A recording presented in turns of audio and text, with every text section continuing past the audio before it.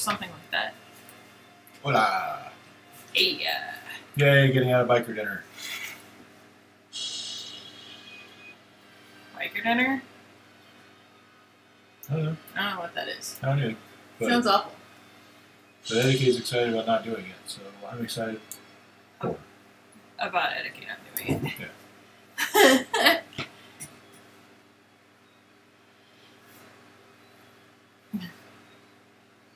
Hey, kid, as well.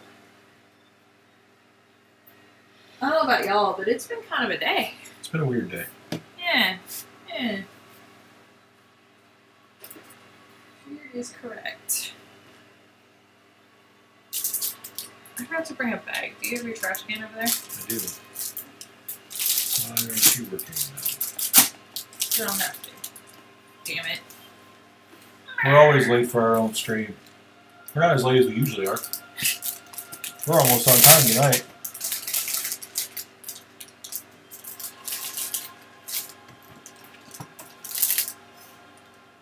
What?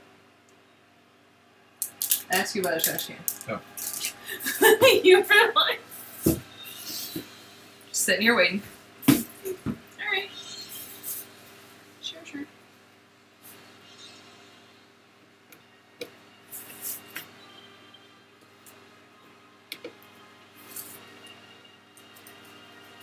That's fine. I had this thing plugged in, you know, while we were eating it, so it didn't charge. So Your pen? yeah, that- You didn't check to make sure it was charging?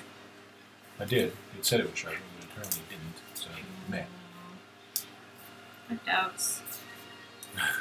So many doubts. cats are sneaky bastards. It's part of their charm, from what I gather. So we've been told.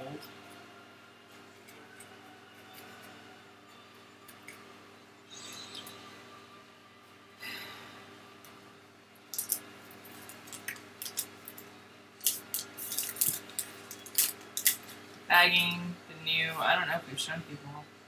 I don't know what it either. Mm-hmm. Orb. Goldfinch orb. I love the way the light just does its thing and makes it look a little.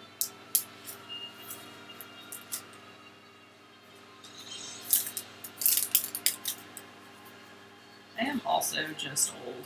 I feel like. How's everybody doing? Yeah. Apparently everybody's tired. Man, some intense music you got going on there. It is It's very Versus- intense for my tired state of mind. Castlevania. Says a person who's like just playing like Mongolian death metal That a few minutes ago. was pretty great, actually. Admit it, you're excited I found it. It was pretty good. I just You're gonna listen to it later. probably Uh-huh. Really? What? what the hell?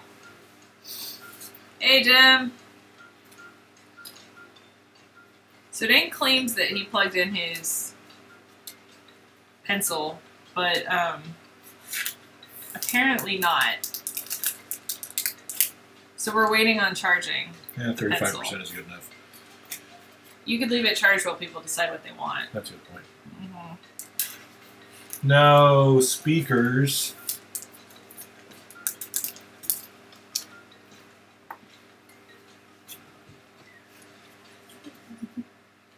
like a peasant. I first read that as like a pheasant. and I was just like, How do pheasants pheasants don't use things? speakers. You're all like silly etiquette.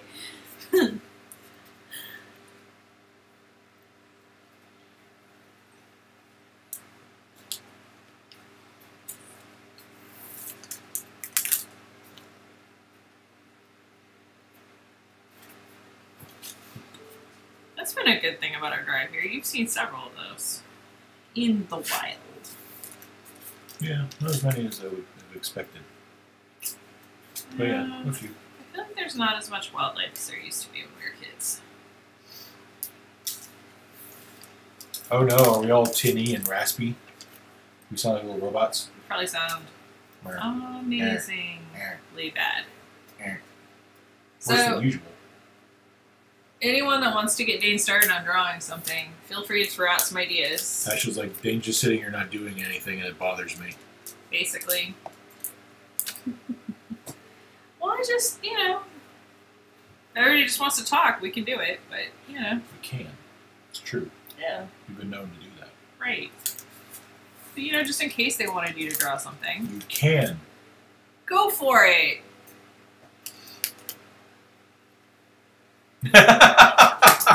Perfect.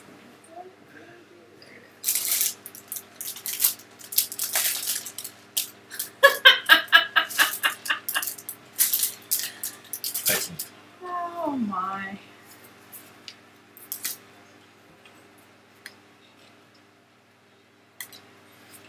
Well, if no one else has one, Spaceman fishing. Okay. Okay.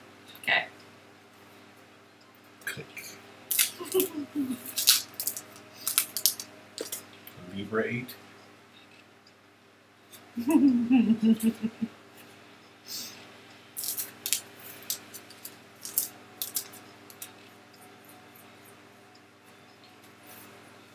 That doesn't actually have a thing on it. Hmm.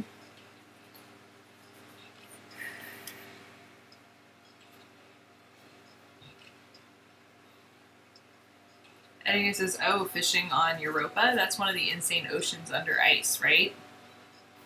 Hi, Yes. Velasque. Hey, Blask. You're back in Saudi Arabia? How's that?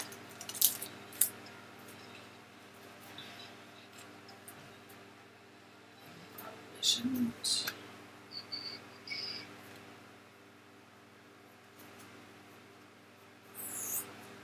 It's 42 degrees outside. Um, Celsius, yeah, I was gonna say, you mean Celsius, don't you? which And I'm trying to Means that remember, but that's bad, right? Like, where's Oscar Wolf? Oh, 90 degrees Fahrenheit? Oh, that's not so bad. I mean, that's what it was. Not here today, but it was last week. Yeah. Like, I mean, it's terrible. I don't like it, but it's much better than when we have we're having the days that were like 105.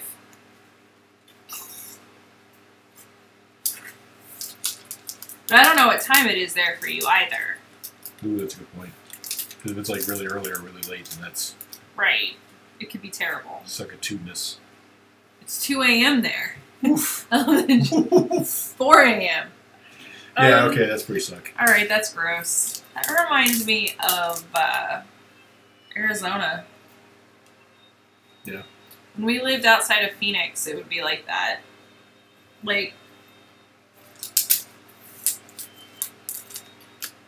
when you go weeks and your stu like the apartment pool never like when it never goes below 100 degrees even at night for like weeks and then you try to get in the pool to cool off and the pool is like a lukewarm hot tub Yeah. don't like 80? What? Dane would die. I just died. I'm not even there. I've been trying to keep it at 75 and ours. He complains. I complain sometimes. Yes.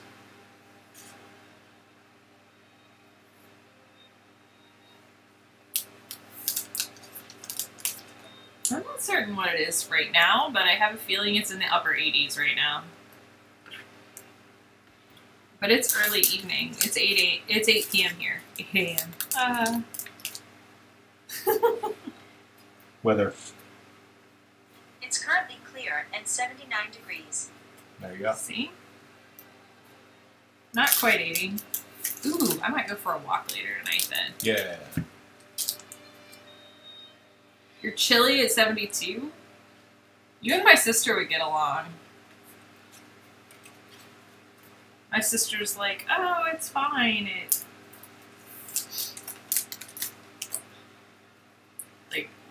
warmer temperatures. She gets cold easy.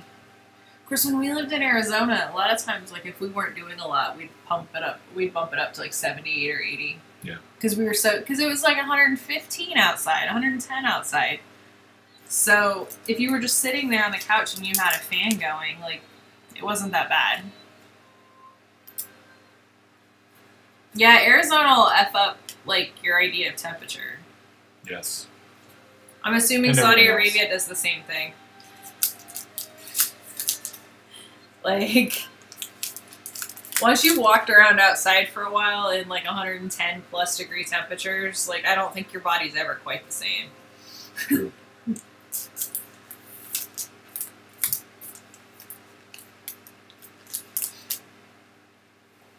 I don't know, etiquette. It took me a while to get back. We were in Arizona for like three years, and it took a while. Like for a while, I was like, "Oh, it's only 65 outside." I'd be wearing like a long sleeve shirt and a hoodie or something.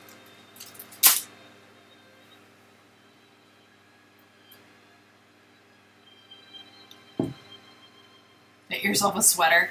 I've been looking at designs, um, patterns because Oscar Wolf was talking about knitting a sweater, and I was like, well, I'm not going to knit a sweater, but I want to crochet one. So we'll see how that goes. It's going to involve counting and paying attention to a pattern, so we'll see. That might not last as long as I'd like.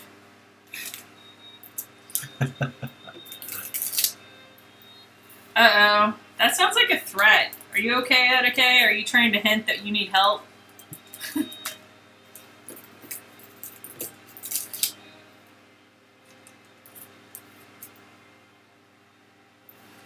Well, I I crochet, so I wasn't planning to make one on a loom.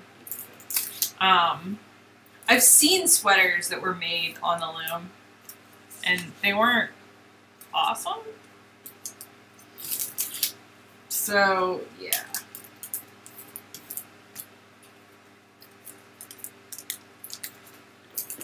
I mean, that's exactly what this person did. They weren't great.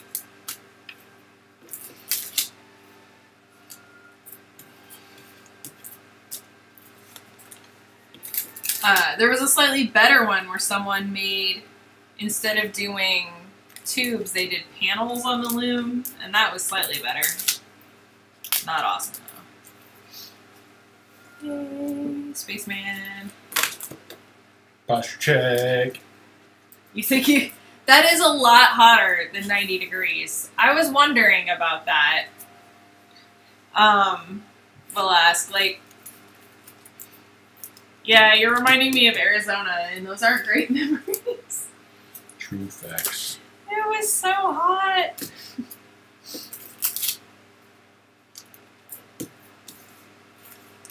Four a.m. and it's 107. I like it. Do not like it. So will it get to like 120 or 115 later, like at the height of the heat?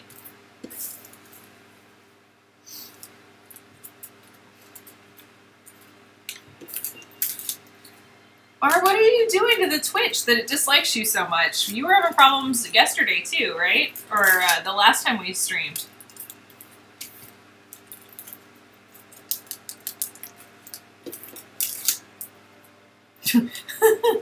Time to fire your urologist. Uh,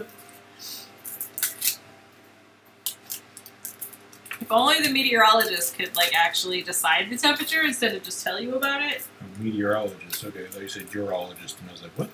He was like, "What's happening? What's going on?"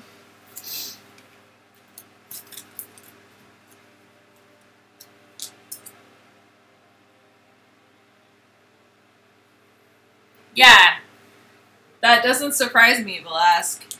Um,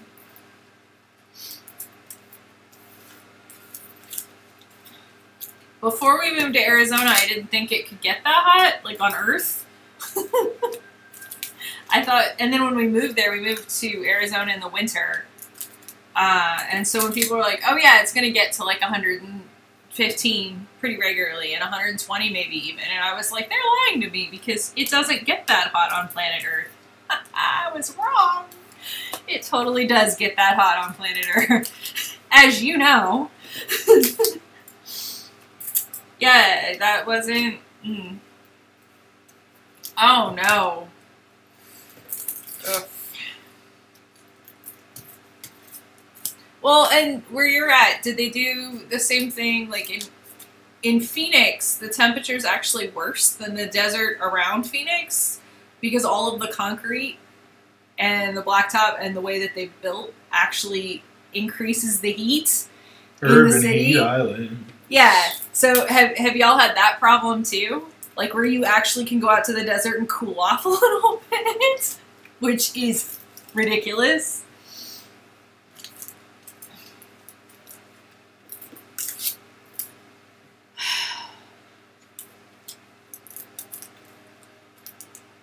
Okay, they say that, but there were days where people were getting in different parts of the valley, they were getting temperatures that were higher than that.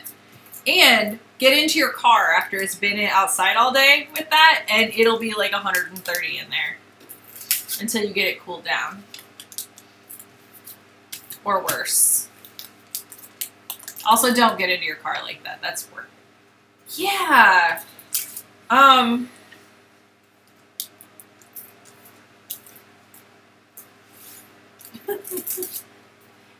See, I was always looking for that um, because I'd, I'd read that, but in Phoenix it never cooled off that much. So it would just stay hot and just build. Um, I always kept hoping we'd get a cold night. Me too. So how cold will it get? Like when it's getting to be 110 um, in the sun, like during the day. How cold is it out in the desert at night?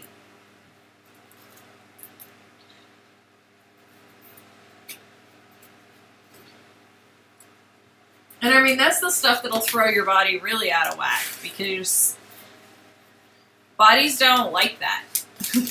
like we used, I used to just get the shakes just coming in from outside. Like you go to a restaurant or something and it'd be over 100 outside, then you go in and it'd be 65 with the AC, and you're just like, Yeah. your, your body can't figure out what the, is happening, right? I can't imagine if it was just that cold, like outside everywhere. Like that fast. See? Around 59 or so. Yeah, like that change will F you up, won't it?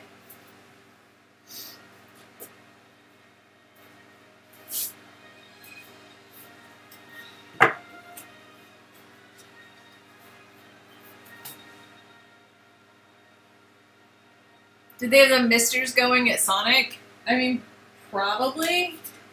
In Arizona, they had misters going all over outside. Literally everywhere. Like literally every like in Arizona, if you went to the to the zoo during this the summer or even like the spring and fall, uh, they'd have misters going where you were watching the animals outside at the zoo. Misters everywhere. Hey, Aaron. Like, I actually really, the Phoenix Zoo is actually pretty awesome. I recommend it.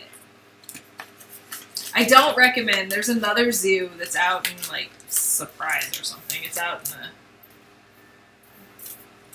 outskirts, and I don't recommend that one. That one made me cry.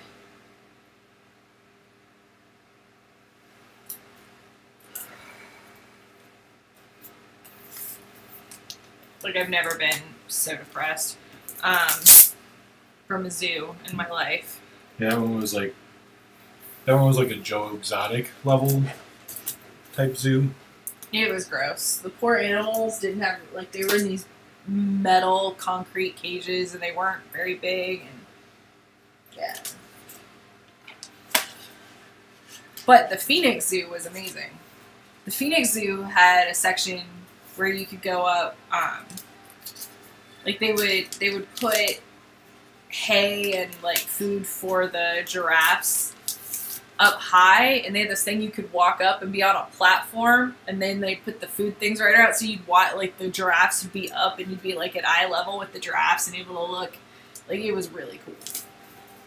I liked that a lot. Why am i grabbing that? Why are you grabbing that? oh no i'm grabbing it i have an idea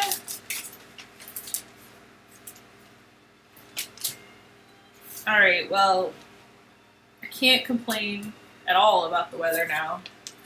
Um, I mean, you can, but but it all sounds silly compared to what Alaska's got going on. We're like, oh no, it hit 95 today. Oh no, it's gonna be like maybe 72 tonight.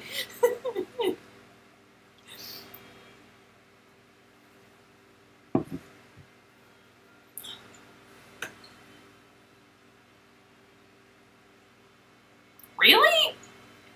That's weird. I did my um I did my undergraduate at a state school, but I went to ASU for grad school. And while many of the people that I went to, that I was in class with could read other languages, it wasn't required.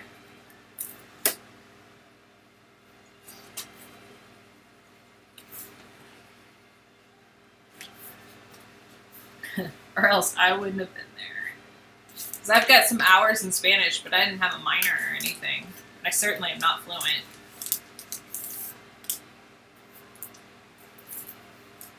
Oh, Stanford. That, yeah, I'm not sure about.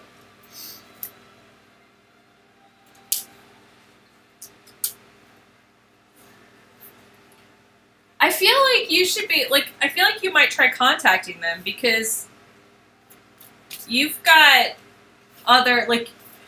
I'm assuming, and that's you know never a great thing, but I'm assuming you've got non-European languages besides English, which is a European language, but point remains.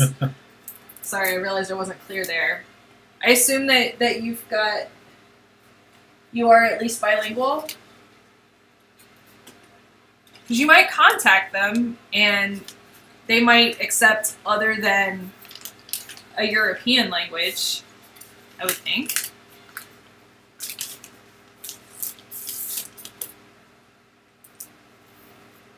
Right. I would be like, I don't know. I think it would be worth checking in because I would I would think that fluency in like like Arabic or Chinese or some other non-European language would also work because you do have English. I don't know. I think it'd be worth asking the question. I don't understand why they would be requiring another, like, specifically European language. That seems backward.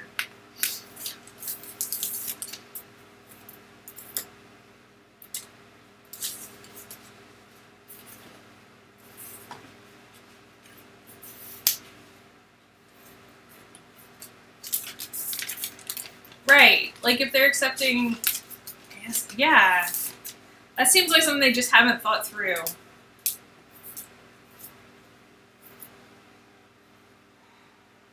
Man, I was so bad at French. The spelling just threw me all the time. Like, I know English isn't the best, word, like, when it comes to spelling, English isn't the best. Ah, that's why my spelling is atrocious. But it would be like, here's a word with, like, 10 vowel or 10 different letters, but you're going to say a completely different sound that doesn't isn't normally represented by any of like my, my brain was just like what i was way better at spanish I don't know the German word for potato. no Like, I was just going through it. I'm like, I don't think I know that one.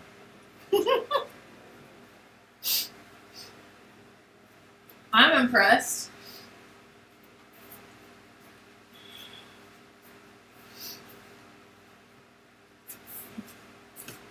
I should have kept up on my Spanish. I was a lot better at reading than I was speaking Spanish. But then I got lazy and I lost like all of it.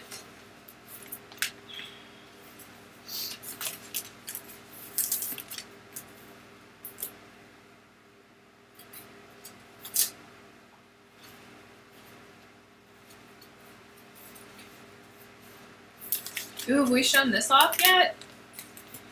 I don't think we have to finish one now. Because I, I wasn't making it. Can't make it public yet. Okay, guys, no public. Sorry. He said that a little late. They, they saw me make it, most of it.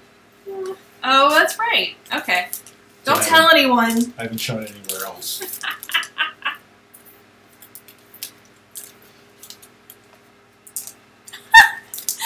I mean, maybe I don't. Starting from English, the French French pronunciation based on spelling, my brain couldn't handle it. Like I could do Spanish, but French just broke me repeatedly.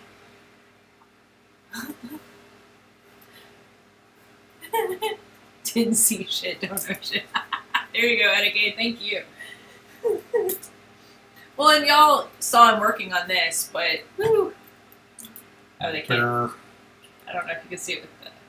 Yeah. shiny bear. Shiny bear.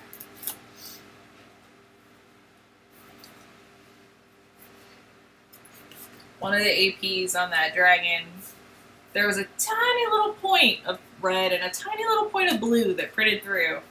Um, for some reason, the layers were messed up or something. Even though it's a black and white print. So that's a fun AP that I've got now. Oh, that's cute! Yay! Yes, the wingless bear.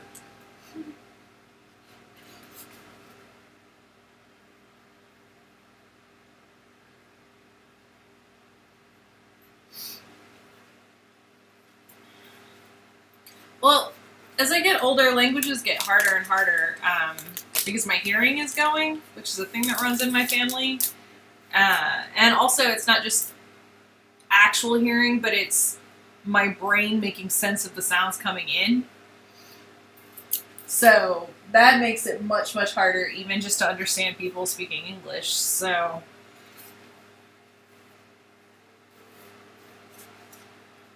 I'm jealous, Velasque. I wish I had, like, I really do wish I had the ability to just pick up languages quickly. Or well.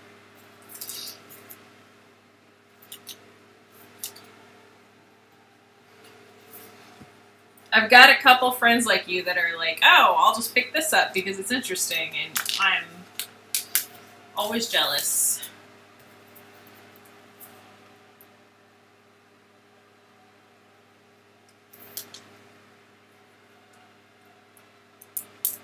Oh my gosh, etiquette. I love watching the videos of like Welsh speakers talking about like Welsh words that sound like something else or the way that like Starbucks people spell their names. They're ma- Welsh sounds like magic to me. Like in my head, like fairy languages and stuff like that sounds like Welsh to me. Like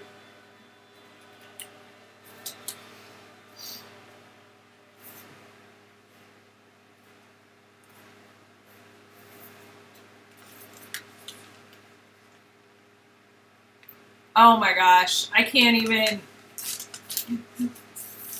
I've heard people try to try to explain the tones, like they're they're making it the, like overly obvious, and I still I I still can't do it. Velasque with the the Chinese tones, like I'm just like I swear you didn't change them, and like I can't hear like.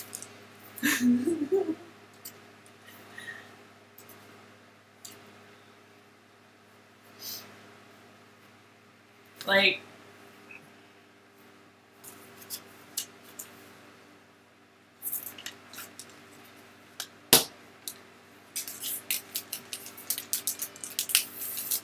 and with the tones being so important, I wonder how people with hearing problems communicate in Chinese.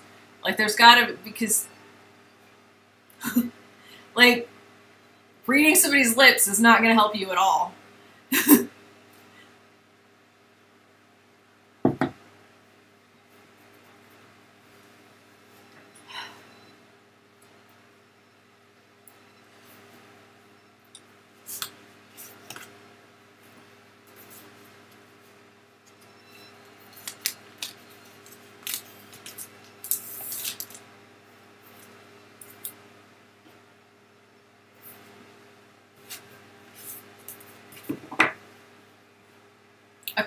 No one has perfect tones. That okay, so it's it's a mixture of the tones and then sort of the context and and local, like just knowing what people.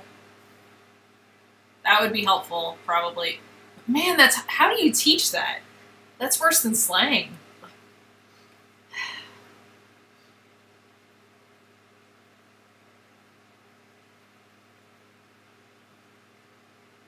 Yeah, I've Lesbian, I've I've noticed similar. Um, and actually, I sometimes am that way with Spanish now. Um, I did. I spent.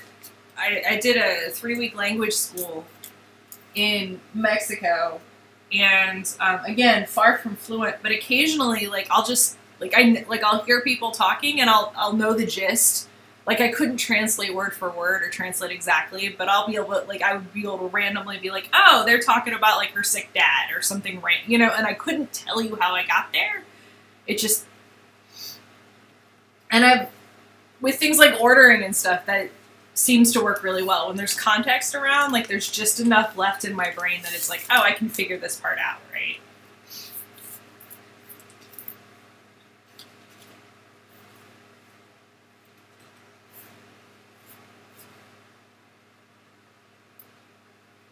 oh that's interesting Velasque.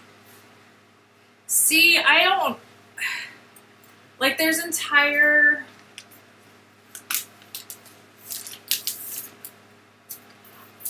there's all this stuff to consider. Um, I had a class in grad school with a bunch of people who spoke, who were fluent at least in two languages and sometimes in, in more than that. And a couple of them want to wanted to translate like poetry or translate books later. And that was one of the things, like, there's all these nuances that you've got to do it right um, that I just find fascinating. Like, how do you capture.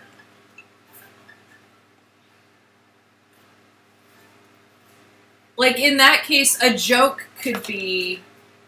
You know, there could be a lot based on, like, getting something wrong on purpose and what that would say to us. But, Like, there's all kinds of just nuance that doesn't. that when you're trying to translate can just be lost if you're trying to do word, you know, word to word translation.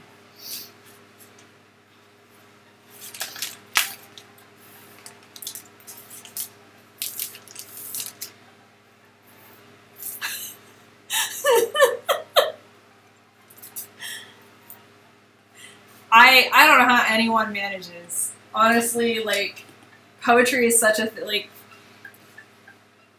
one of my fellow students, um, she was one of my favorite people in the world, but she was trying to translate the works of a semi-famous, like, female Portuguese poet from like 300 years ago. And she was just explaining the process of what she would, and I was like,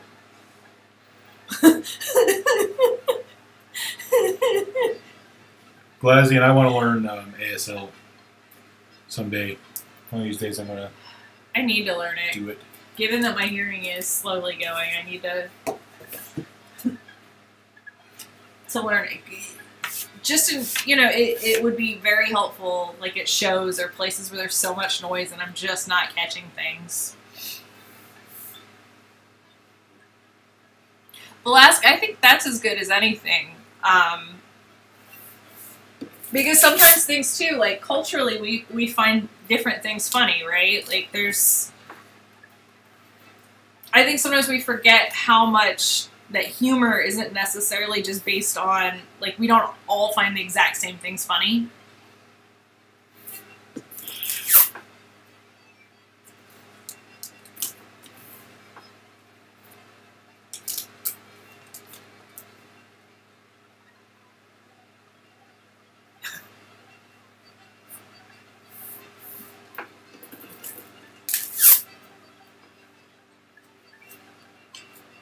Well, that's it exactly, Glasdian. Like, I can't tell you how many times that I've just given up trying to talk to somebody at a show when there's a bunch of noise around. Um, and specifically, there are certain people's voices that are at just a particular in a particular range level that I just if there's other noise going on, I can't hear. Like,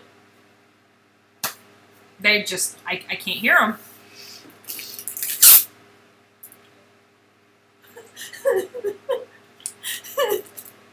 well, Alaska, I remember reading a manga. God, it's been years ago. Um, but it was just old enough that the people translating had really tried to do a very good job, right? Um, it was before like the big 90s where suddenly you just had like a bunch of really shitty translations happening of everything really fast. And there were notes at the bottom of like every single page because the poor translator was like, this literally translates to this, this, and this, which makes no sense in English, but in Japanese. And then they would explain, like, they would try to explain and break down, like, why it was funny. And I felt like I was learning a lot culturally, but by the time you get to the bottom, it's not funny. like, there's no way that you can dissect a joke to that extent and have it be.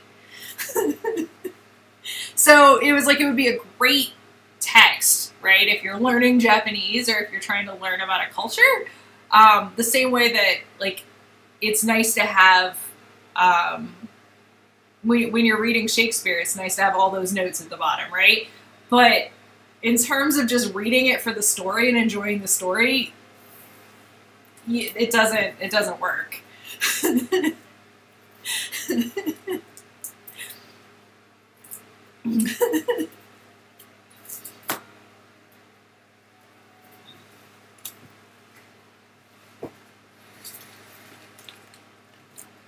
oh no. Yeah.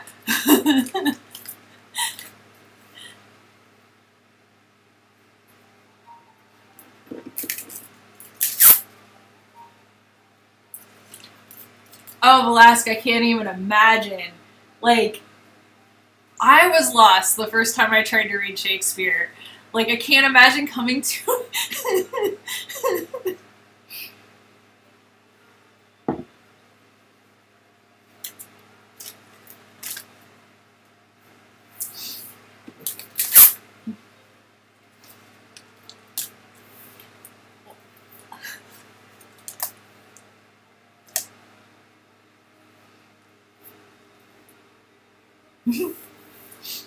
Old English, Dickens.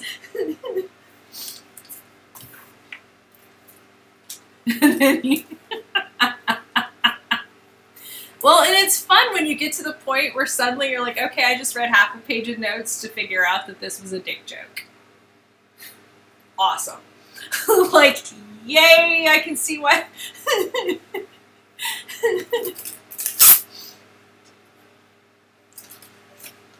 and it's kind of not. Like it's yeah. It's surprising sometimes. I think we forget how fast languages change.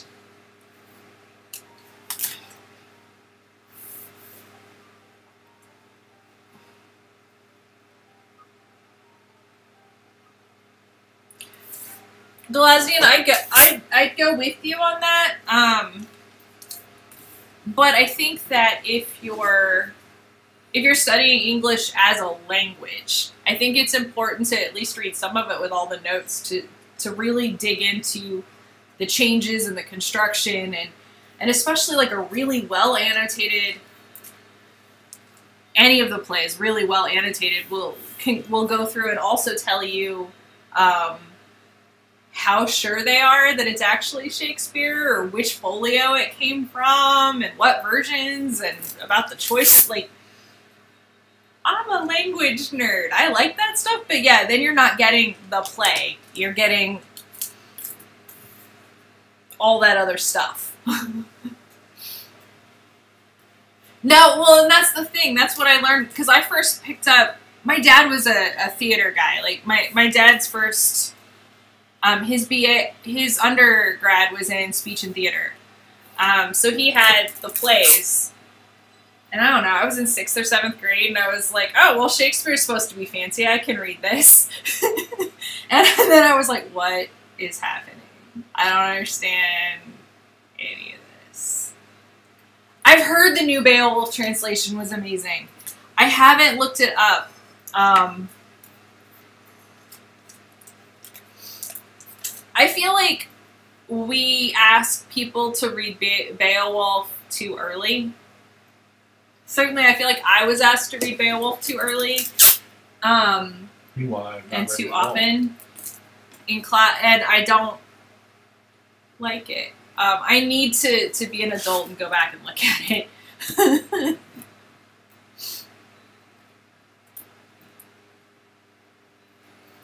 Tolkien translated Beowulf.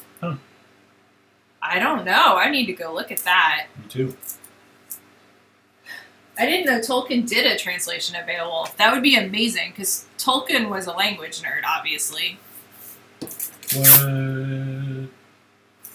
When did that happen? Don't be sarcastic and mean. Why not? Because why? Because why not? Fishing astronaut. Hmm? I really like that. That's cute. I like that he caught a star. That's super sweet. That'd be a cute card.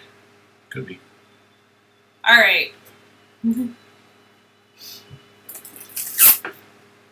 What's next, guys? What should Dane dra- draw? Right? What should Dane draw?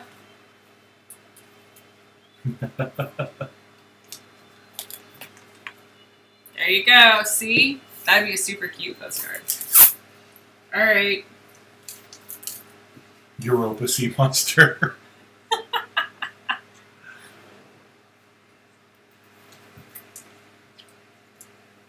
Uh oh. I think Dane liked all the many pages of useless poetry in Tolkien. Gems thrown down. Woo! oh no.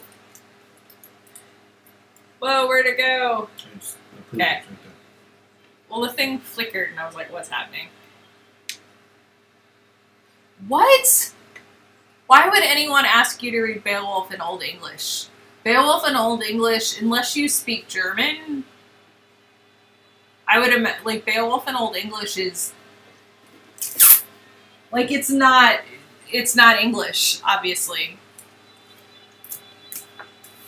That's insane. I don't understand why anyone would ask you to do that. like English teachers when when they're making their students read Beowulf in the US at least, in my experience, they love to bring in an old English edition and make you flip through it. I think just because they're like, hey, if you hate going through the translation, imagine how much you'd hate this if I made you read it. Um, but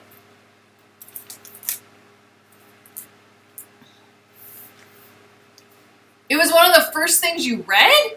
Who does that? It's not English.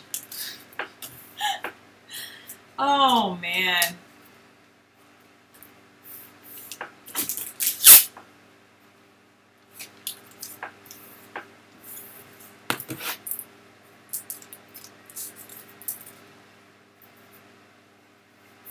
Like I think anything earlier than Chaucer in its original form is is rude to ask people to read.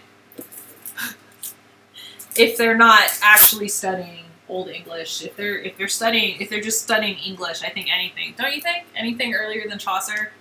The only like Chaucer was my favorite character in A Knight's Tale. That's all I know. Oh, you've never read Chaucer? No, I'm not an English It's- major. I So didn't know any of this stuff. I read we read Chaucer first in senior English in high school. Is this your honors English? Yeah. Yeah. Um We didn't do honors English. Think that you can like look at, it and go, "Oh wow, that's that's not English," and then look at the next and then see that it changed. Um, or you could just explain, like, "Hey, it was a Germanic language with some of the same rules of current modern English, and then the French invaded." and And everybody Fire Nation attack. and everybody spo- spoke old like an older, more formal version of French for a lot of years, for several hundred years, like, and brought in a bunch of French vocabulary, and then it became a different language, and we made some different spelling and grammar rules. Done. I mean, or yeah, that would work too. I took history of the English language twice in college. I dropped the first one because that professor was insane. Um, and we started back with Beowulf and moved forward, but we weren't actually expected to read it all in the Old English. It was much more of a like, here's a piece, um, and then here's a translated piece, and like, let's do some comparisons between the two. It wasn't like figure out Old English. Because again, that's crazy.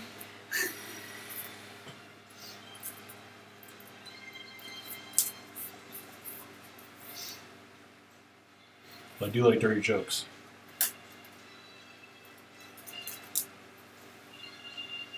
Chaucer is chock full of dirty jokes.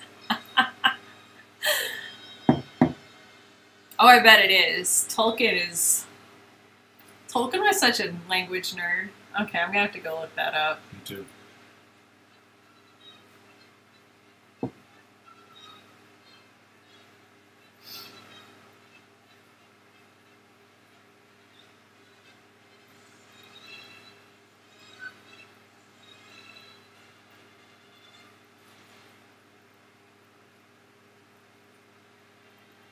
I'm still just like, were they trying to? So, so question: when they were when they were doing when they were handing a bunch of students for whom English was probably not their first language, when they were handing them Beowulf, was this a college course? Like, were you allowed to drop it, and were they trying to get you to do that? Because to me, that's what you do when you want people to quit. I like. I have a lot of feelings about Beowulf, which are probably impeding right now, but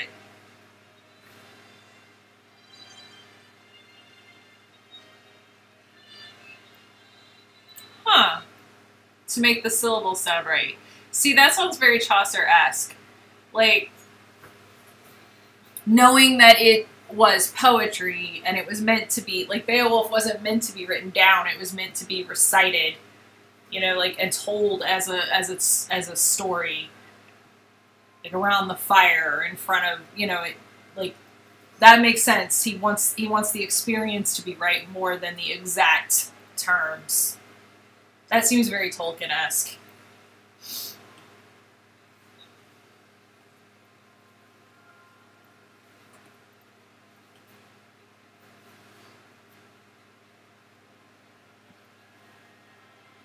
The new version starts with bros. what? that was two years into undergrad? Huh. Maybe they did want you to quit.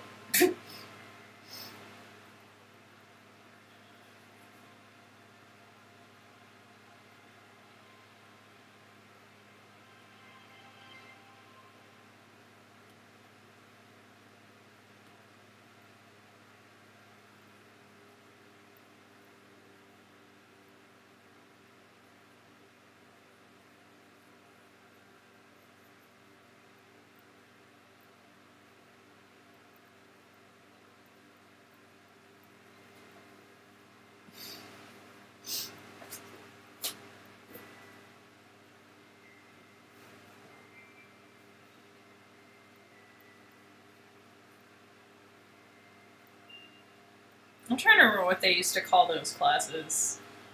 Um,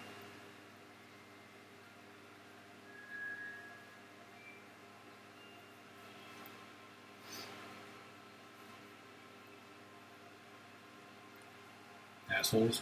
no, there was a name for them, and I don't remember what we used to call them, but it was basically like the class that they would that everybody knew was the one where they were trying to get like the people that couldn't hack it or whatever to like drop just so they didn't have to deal with you anymore in the major. Yeah. So everyone knew that the class was maybe harder than it should be.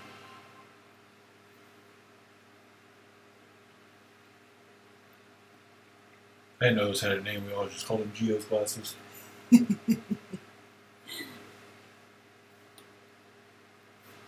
Wow.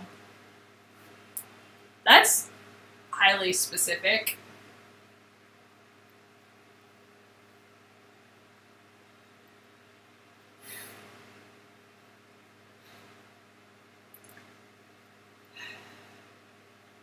I'm trying to remember her name. It was Sister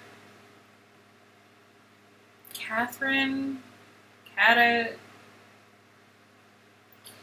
One of my fellow students ultimately wanted to translate the the poetry. She wanted. She was obsessed with this um, Catholic sister who I think became like a um, abbot, abbess, abbess, probably. I'm not a Catholic. Um, I'm probably getting the terms wrong, but she had visions that she believed were divinely inspired, and she wrote a lot of poetry about it. So she ultimately wanted to translate all of her work, which I think was in French or German and old because it was like a thousand years ago or 800 years ago into English. But apparently, some of the stuff, some of the poems and stuff were basically like love poems to God, and some of them got kind of steamy. I was like, that's a thing. Why aren't we in Atlanta? That's a good question. Probably because, you know, suit people. Man, I'd love to be in Atlanta right now. I'd love to be eating at restaurants in Atlanta. I'm really missing some Sweet Georgia juke joint right now. Oh, sweet Georgia's.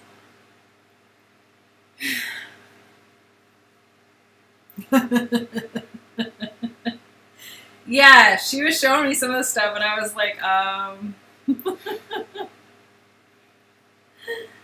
that is a lot of lines compared to usual. It's fun watching the monster come out of it.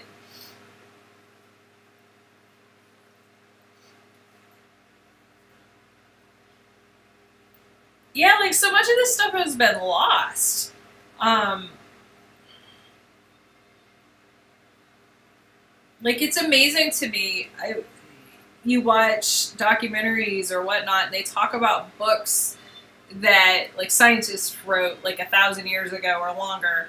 And the only reason we even know is because some other person referred to it in a book they wrote that there's a cop a partial copy in, that they found in a library that was rated, you know, that used to like, and it's just like having the actual source right there is so rare.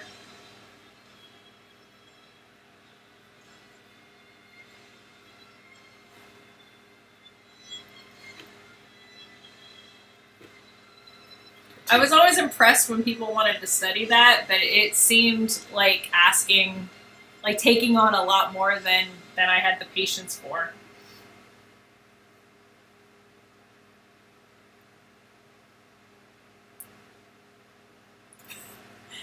I know. Thank you.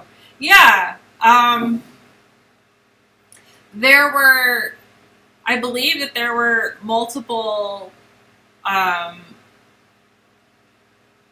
I don't know, kings, leaders who, who had extensive libraries, weren't there?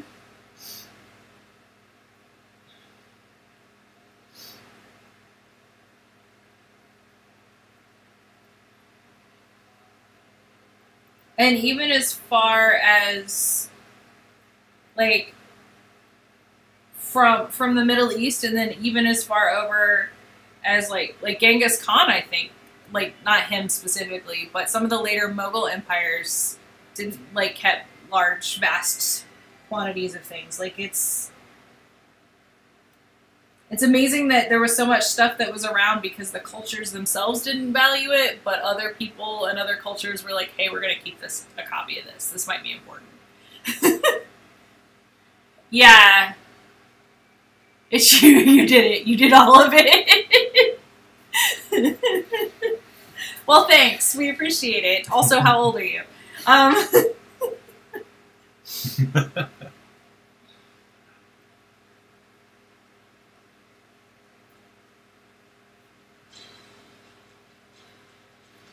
yeah, we've been getting to the. We, we've just started the moguls in the pod, the history of China pod. Mongols. Mongols. Moguls. Moguls is India. Right. Sorry.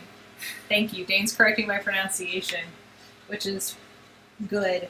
Um, we've we've just gotten into the Mongols, um, and started really getting diving in on the history of China podcast, and they wrecked a lot of people's shit.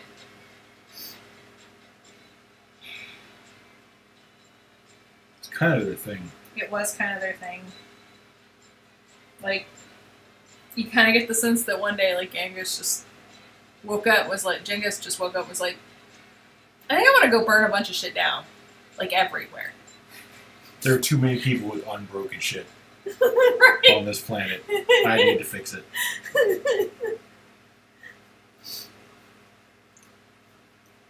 And then once he'd burned everything he could find, he was like, he sent out people and was like, find some more shit that we can then go burn.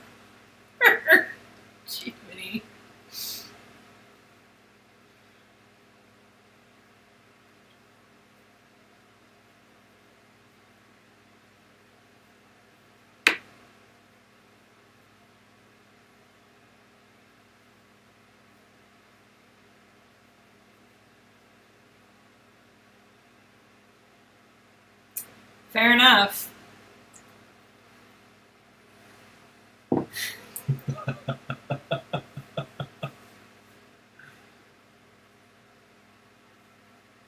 Same Medicaid.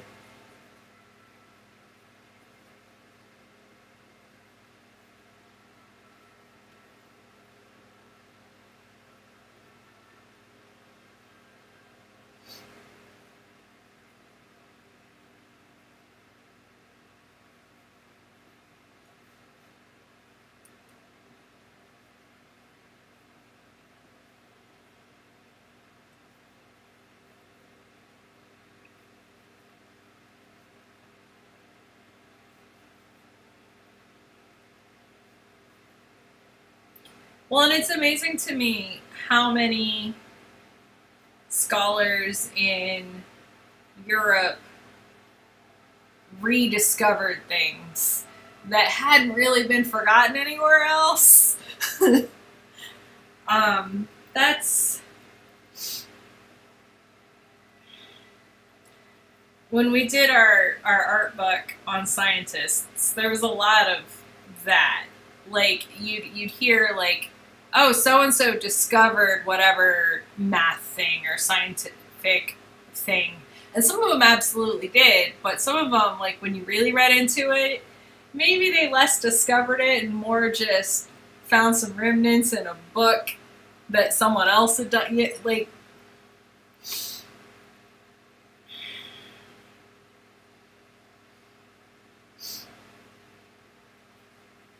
Like, for instance, the concept of zero. Algebra. Yeah.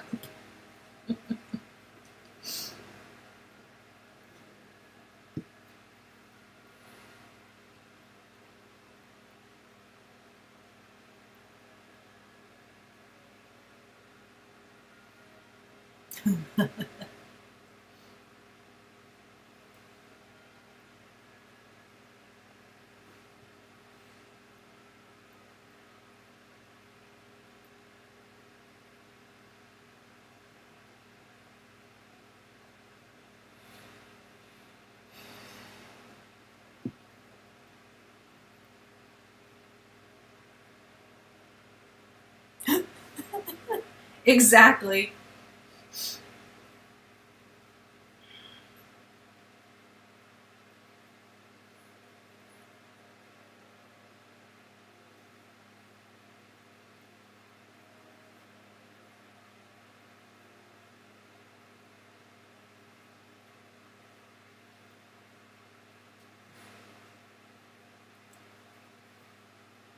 Hydrate. Pink.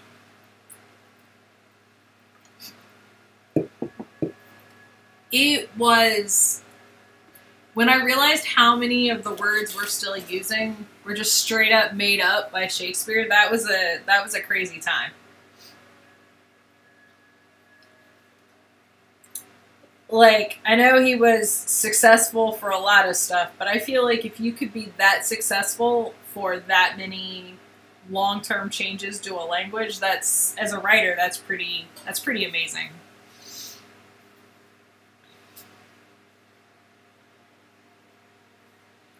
Glasnian, by the way, says that this critter is the right amount of Cretaceous. Yay. She likes it. That is a fun phrase. The right amount of Cretaceous? Yeah.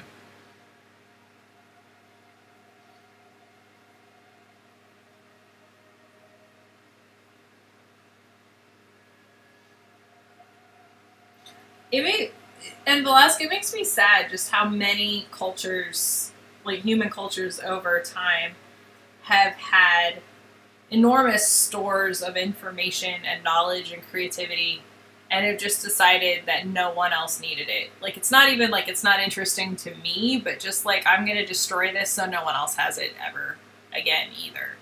Um, that seems to be a human thing, and it, it just it's, it's a, not a thing I understand because there's something about a library that just gets me. and even if I don't need the whole library, I just, you know, someone else might need that part.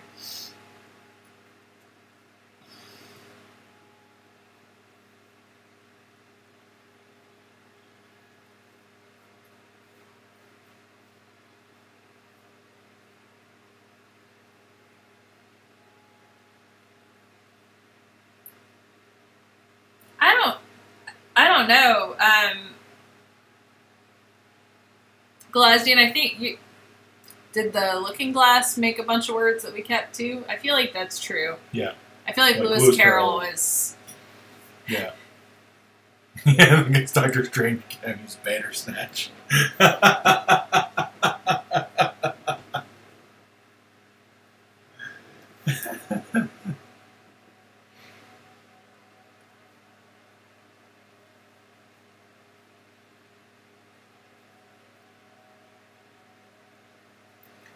Lewis Carroll was quite the word wizard.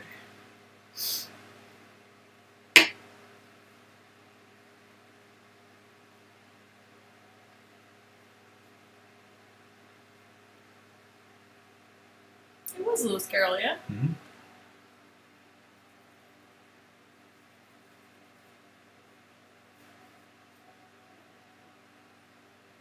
Ooh, Victorian detective fiction. That's a great mix.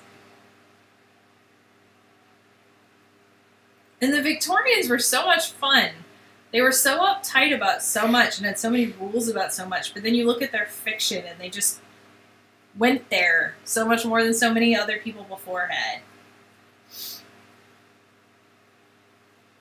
Well, they had to. They had to do it in fiction. They couldn't do it in real life. Fair.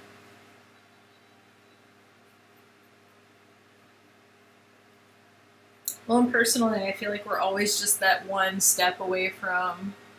Um, oh, look at my brain. Not nearly enough coffee, and it's been quite the day. Uh, uh, help me. The costumes and stuff. The stuff that's big now. Steampunk. Yes. Arr! So, like, anytime you're digging into the Victorian stuff, like, you're just that one step. Any moment, steampunk. I know.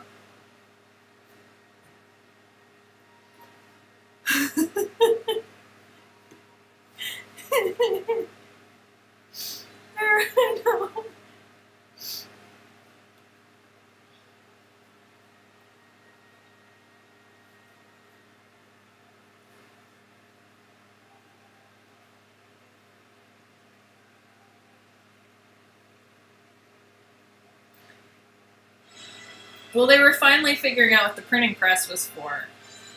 They spent a lot of time printing the Bible, so next, as it always does, smut. Right. I have heard of the Disney small, the smut ball, What? the Disney smut ball. Yeah, I'm with I'm with with Velasco. The what?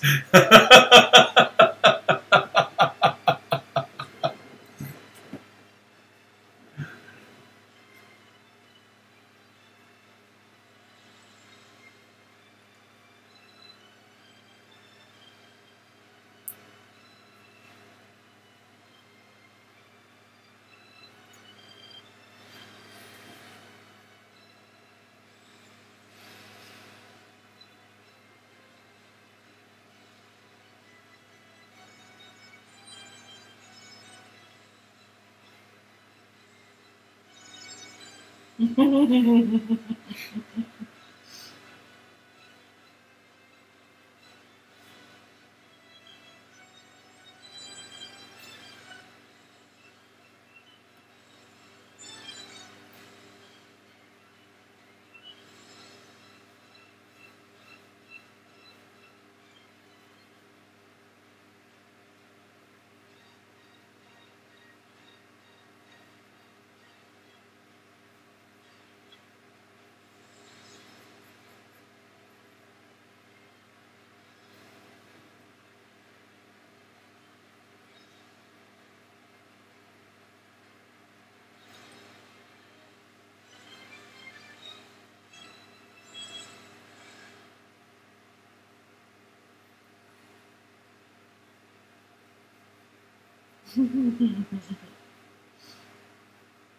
Okay, so I've got some friends who work for Disney. I'm going to ask them about the Smut Vault and see if they've ever seen it.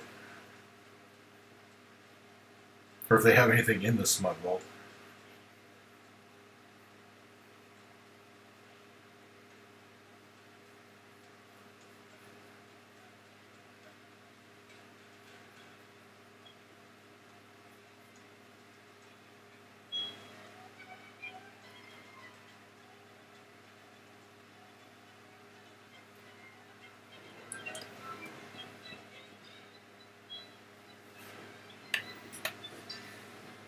I hope not. I hope they would just burn anything like that.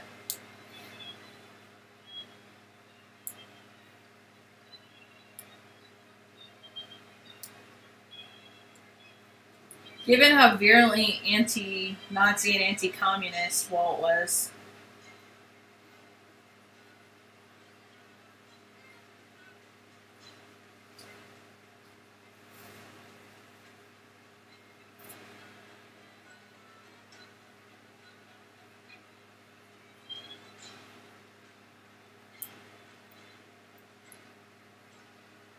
but in case this, this image makes me think of the song "Surfing on Jupiter."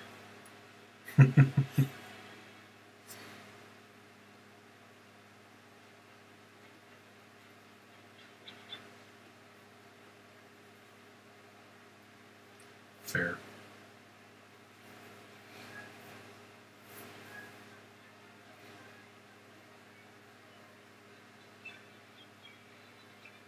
So, how's everybody's family doing?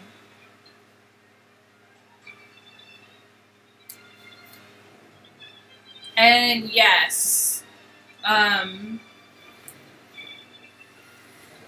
Yes, there are actually um, official Disney cartoons with Donald wearing a, a swastika. because he was the the villain in that cartoon. Sort of. I'm trying to remember. Yeah. Walt was super like Walt was actually a veteran. At, um, he served in World War One. Yeah.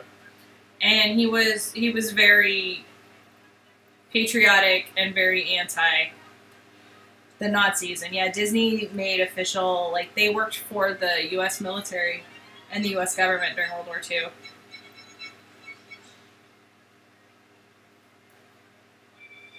Almost caused them to go out of business actually because they didn't make enough money to do like doing it.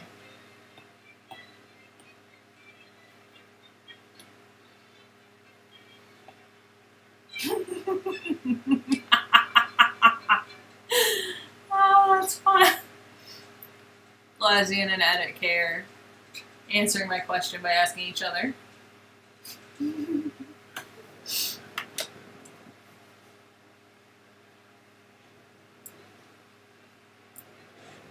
So it wasn't so much as Donald was the Hitler as he was uh, working in a munitions factory. I don't remember the cartoon that well, but there it's an actual Disney cartoon. It was their way of warning about how fascism, how sneaky the fascists are, and how, how careful you had to be to, to not let the fascists in, basically, I think. If I remember correctly. I've seen the cartoon, it's just been a long time. Yeah, same. Like, it, it was in no way pro Nazi. It's on YouTube.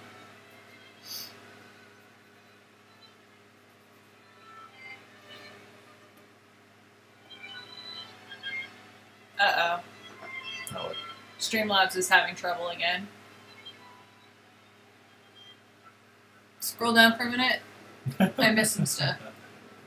Because Streamlabs is like, listen to me! Okay, it's.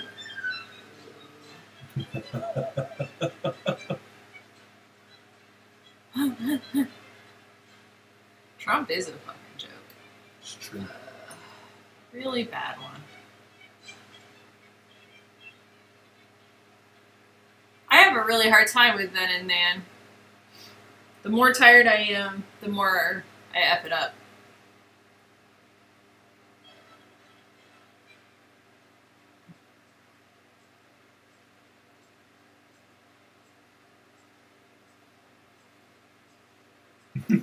Save. I can't save. It automatically saves.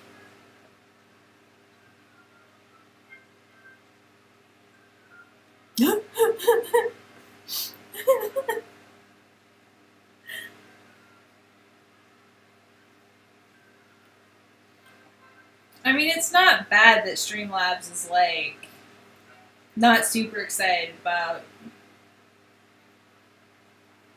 Nazis. There's a difference between talking about them and being pro them, though. Streamlabs, of course, is not that picky. Right.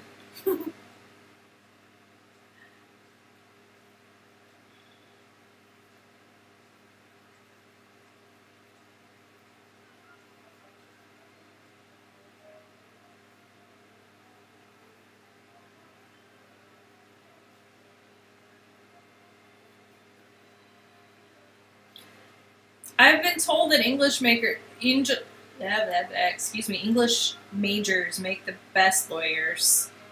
Um, okay. There's just a few things like in my writing. Um, when I'm editing my own work, I have to go back and really like, for instance, pay attention to the tense, um, especially in fiction. But just in general, for for reasons, my brain likes to switch tenses a lot in ways that aren't helpful to the, the work. Um, so it's just, there's particular issues that I have to be aware of in my own writing when I'm going back and fixing. And then and then are definitely one of them. Yeah.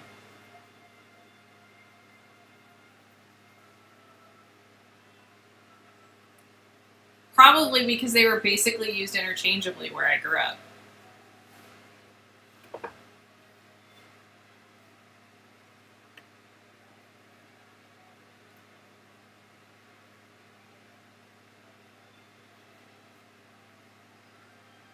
I bet their contracts were gorgeous. I really love a well written contract, especially one that's like succinct but just perfect.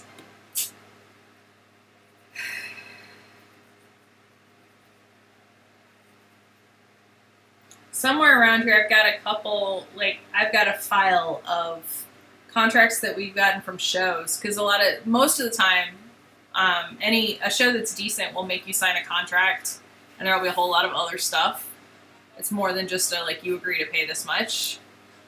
And there's some really nice ones that I've kept because I'm that kind of nerd. Like you got to keep them all until you've done the show but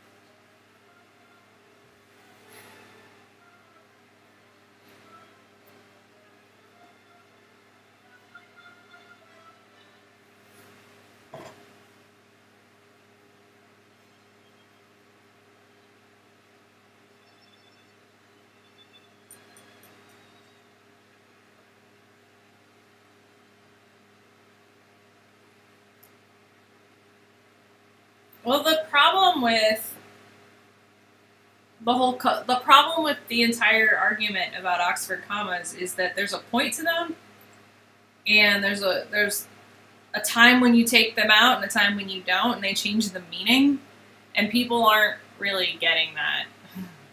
Like it's not a oh I just don't like an extra comma so I'm gonna take it out. Like you have to actually want it to mean what you've now changed the meaning to, and it irritates the shit out of me as an editor when people just go oh well I just don't like the extra comma I don't like the way it looks and I'm like that's not the point. It's not there for looks. Enjoy my rants on the English language. Or don't. You're going to get them anyway.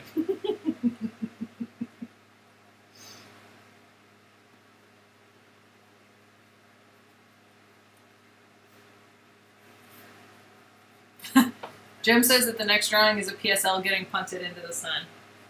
Oh, you're not one of the people that doesn't like people to be happy, are you, Jim?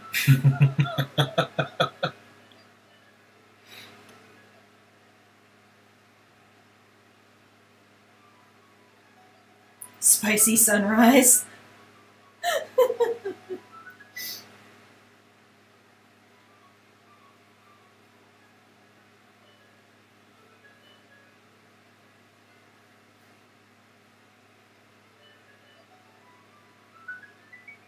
Friend sent you a meme the other day that says tacos are more important than pumpkin spice. Bite me.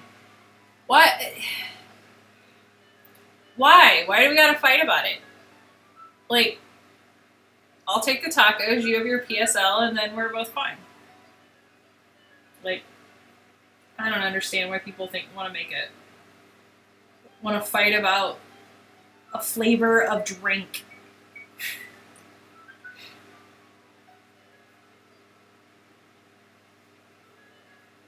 Exactly, Galazdian. Thank you. Not Ex- thank you. Exactly, also, Barb, for two different subject matters. Well, unfortunately, I think that a lot of people got the idea that commas were just there to, like, give you a reason to stop and breathe.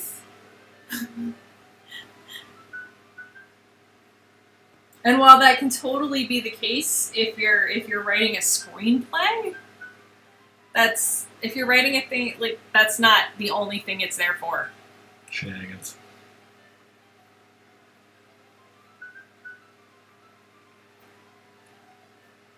okay.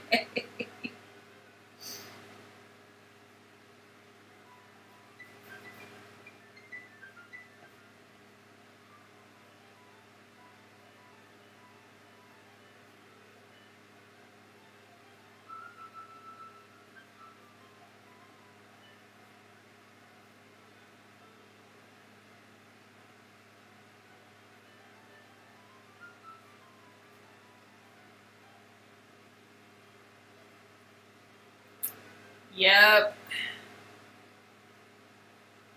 Exactly, Etika. The commas change the mean. The punctuation changes the meaning.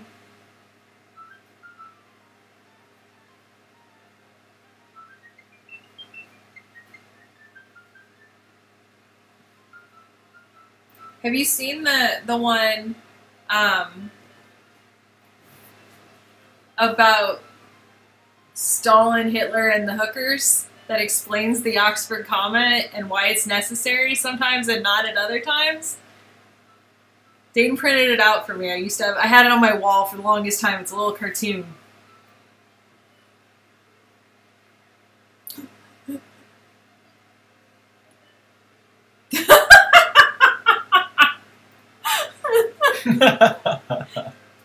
Why are you trying to fight, start PSL fights, guys? Stop. It's pumpkin spice latte. People abbreviate it to PSL. It's it's a Starbucks flavor for a coffee drink.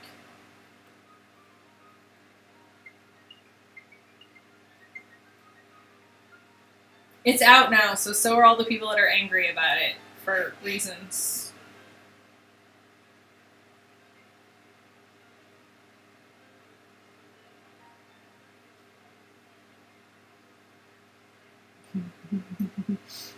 fight you. uh,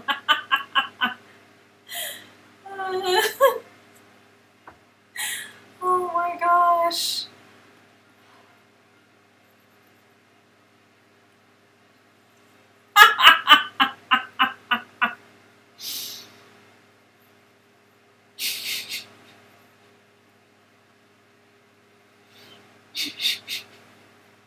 and Nikki's just like, fight me!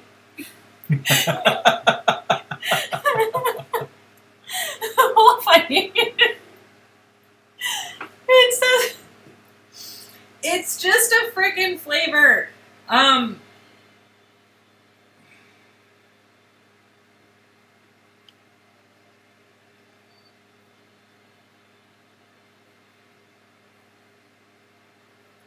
When people like, if it makes people happy, whatever. I, I actually, mean- I actually like the flavor of pumpkin, and I don't think that PSLs actually taste like pumpkin. So Because they're not. there's they're not no, supposed to. even though they're pumpkin spice lattes. They're supposed to taste like the spice that's in the pumpkin pie. But I feel like back in the day, the original ones. See, I'm gonna be that hipster. I feel like back in the day, they did taste a little bit like pumpkin pie. Like there was some like fake pumpkin that kind of flavor that tasted a little bit like pumpkin pie, and I liked that better. But either way, like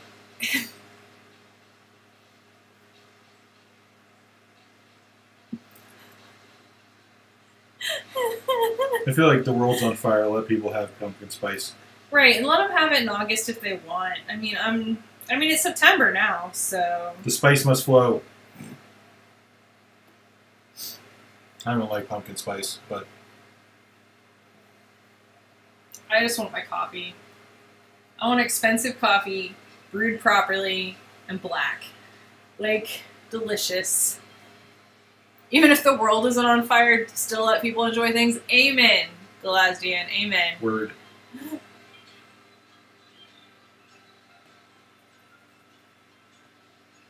Jim, it's mean to say that I can't have pumpkin until we've reached a random number on a thermometer. Why? Pumpkin is delicious. I mean, it's hard to get until Because people are nuts. I would have pumpkin pie right now if we could. Because pumpkin pie is delicious and I like it.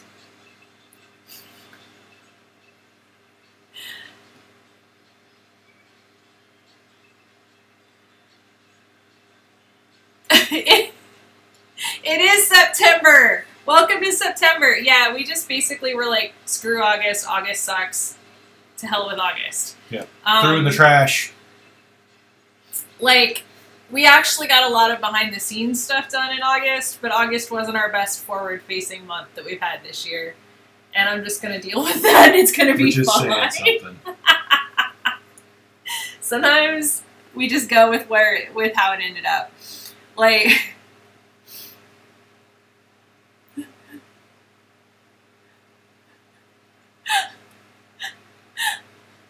Why?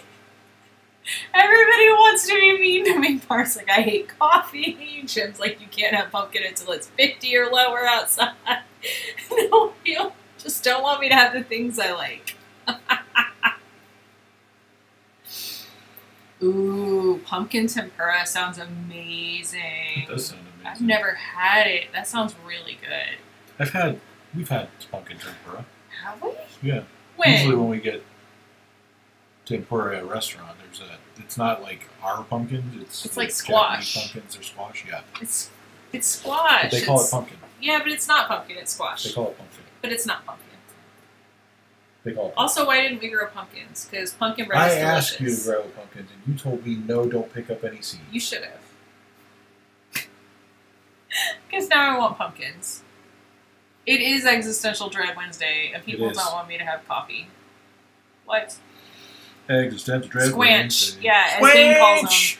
He's very sad, by the way. All the squanch. Um. Did you check your squanches today? Not today. I checked Uh-oh. yesterday. There weren't any. There weren't even any um, fruits on them. All the all the squanch things are getting slow. They're slowing down.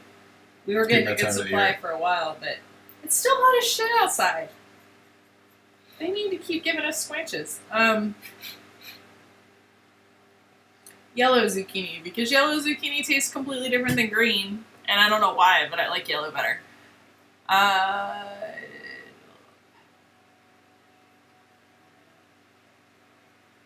Jim's got all these rules about when I'm allowed to enjoy flavors.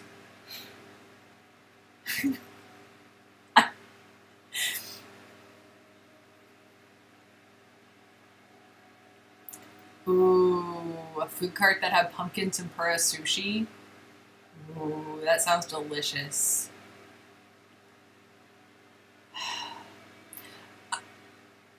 I'm mostly with you, Velasque. I've had a few cups of coffee that were delicious. Um, Only a few. like I've had a lot of delicious coffee, but like that were like high priced, but I think worth it. Like I just really enjoyed. Um, like, but a lot of those are were specific kinds of coffee, and I could have enjoyed them at home too. Like they were expensive because that coffee is expensive.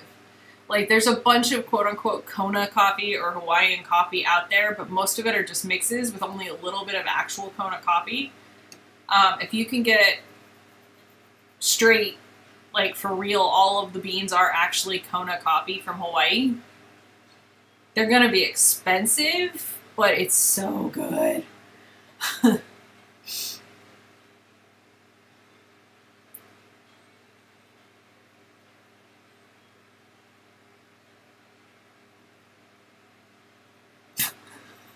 oh, we're fighting about whether words mean things. That's my chat. yeah, all of our squash ball, like our vines are just, and they were going insane, and now they're just rotten.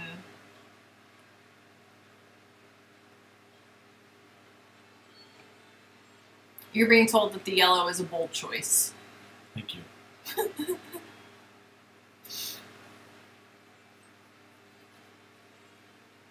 Ooh, nine packs of world coffee. Yum. I really like, um, there's some Ethiopian coffee I really like that's got a really fruity flavor. Um, and again, I love like actual high quality Kona coffee. You've just got to be really careful. Um, people talk about like how bad regulations are, but I think that the world would be a better place, or at least the U.S. would, and my coffee would, if we had some freaking rules about and regulations about what they were, how they were allowed to label coffee. Because you shouldn't be allowed to label it Kona coffee if it's ten percent Kona. like there should be a rule, damn it. Um,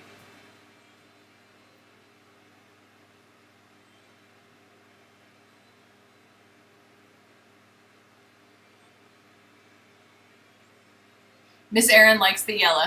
Thank you. We've got something going on about a boyfriend, but I don't think that's for us. Um, I'm trying to update Dane on the on the chat. Ooh, see that's fancy. You'll have to tell us about that one. One of the world coffees is Guatemala elephant coffee, and it's the one that's gone through the the elephant poop. there are no elephants in Guatemala. I thought it was. Is it goat coffee? Because I've heard of the goat coffee. It's only coffee if it's made in the Kona regions, region of France. Otherwise, it's sparkling bean juice. Well, I know, like regulation. Well, it would just be good because, like, I know it's expensive, but if I'm going to spend that money, I would like to know for sure what I'm getting. Because I've had really good Kona coffee that is a high percentage of Kona that tastes delicious. Um, but then I've had a lot of Kona coffee that's not that, and I want to only pay for the the stuff that's the high quality, right? Your mom is living vicariously through you. I mean, as long as it's a it's a good life, like there you go, right? it says Guatemalan elephant on the box, so there you hmm. go. Maybe I mean Maybe it doesn't mean that like exported some Guatemalan coffee to somewhere with an elephant. or maybe they brought elephants to Guatemala and fed them the coffee. I meant to, that'd make it really expensive. Either way, I don't know. I'm just We have elephants here. Zoos are a thing. are they? You don't want two boyfriends, none is enough. Fair. I haven't done dishes or laundry for you.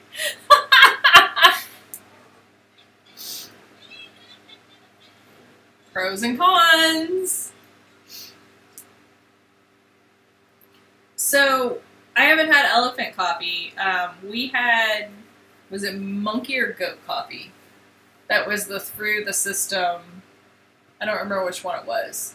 A fan brought it to us, and the first day it was really really good, but the second time I think it was goat coffee. was it goat? Yeah. The second time it was really, really bad, but I think it was the maker, not the coffee. So, for what it's worth.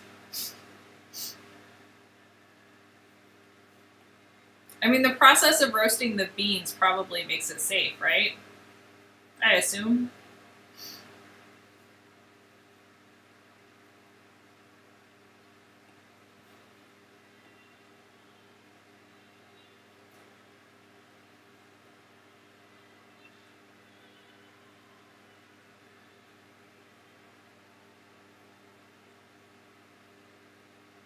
All right, I need more coffee. Speaking Yeah, of coffee. coffee. Whoa. Sit. Crochet hook's trying to run away. You'd be used to that by now. I would think. Yeah, some coffee's not good when it's cold. Being bad at being a tea snob. Coffee doesn't like your body. Blasey and my mom says the same thing. She says she's allergic to coffee, which the idea of is is terrifying to me.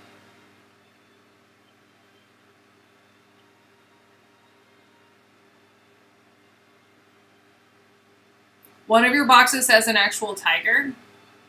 What? Like they put a tiger in the box. What's where's that, one seems from? like a bad idea. I'm, okay, I'm gonna not actually get my coffee if I keep. It's true. I'll be right back.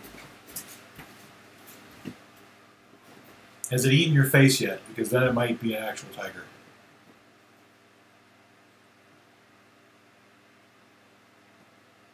Oh, that's neat. Artificial civet coffee. Hmm.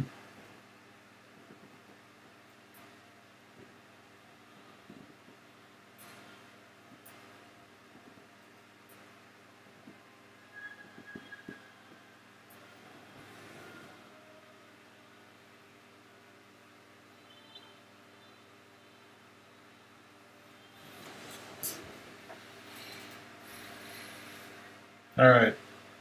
Lilo and Stitch surfing on Europa with a monster underneath. Because why not, really? It's how we roll here on Suggest-A-Sketch Wednesdays.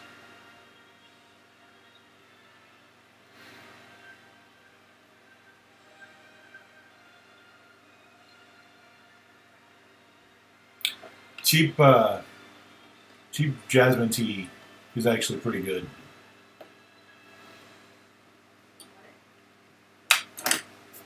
Cheap jasmine tea, is that what you said? Good thing we're talking to you, though. Rude.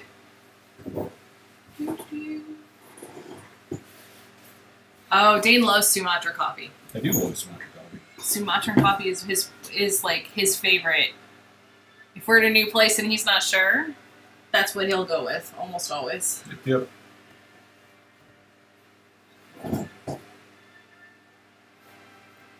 Thank you. We have time for one more. Well, you've been told PSL into the sun, Yes, all in the sun. into the sun, being launched into the sun. Okay. You could do it like a rocket. No, I got an idea for I like my idea. I know. I found. Oh no, I had it on the. no, I was using just a straight old coffee maker. yeah, we got Um, a, a drip machine. uh, the drip machine, so I had it on the thing.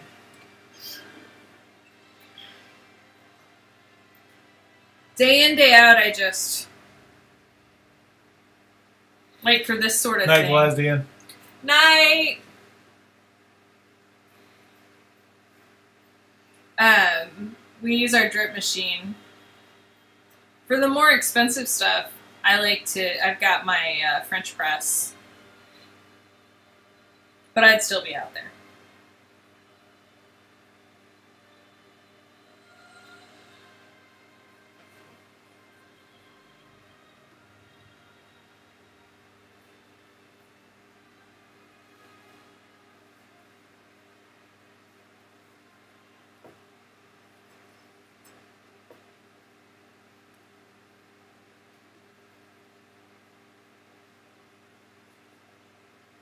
No, no, to a cut rotting in a locked car being baked by the rays of the Arizona summer sun. Ew. Although, now we do, um, we we do sometimes do iced coffee, and that's when you just throw the the grounds in the water and stir them and let them sit on the counter for a day. We tried the Keurig, but um, I wasn't going to pay for the cups. It's a lot of waste. Um, and remember, hippie from Portland. Um, and the, the little thing that you could get to put your own grounds in wouldn't make the coffee strong enough. Of course, this was several years ago, so don't. I don't like. I don't even know what they have now. So I took the whole thing back. It's true. Um, my sister has a Keurig, or what? I, like does I think it's a Keurig. Kurt. Um, so when we go visit her, because she doesn't drink coffee, so when we go visit her, that's what she uses. She just buys the things when we're there.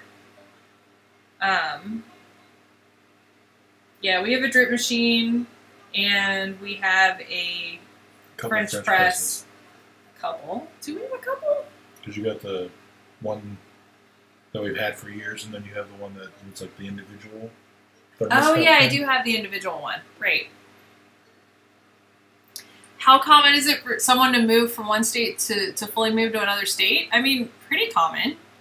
We did Um, it like uh, We've done it four times. We've done it. So I grew up in Missouri, Missouri, Arizona. um, and Dane and I got married in Oregon, Missouri, and then we moved to Arizona, and then we moved to Oregon, um, and now we live in Kansas. So we've done it three times. Yeah. Um, We did it a bunch when I was a kid. Dane, yeah, Dane growing up did it a lot. Um, so so it's not unknown. There are a lot of people like I would say I would say a lot of people don't do it. there's a lot of people that just don't even leave like they don't go far from home. Um I'd be interested to look. I bet more than half of Americans don't really ever move that far from home or the out or outside of the state they but then the rest of us are all over the place. Yeah.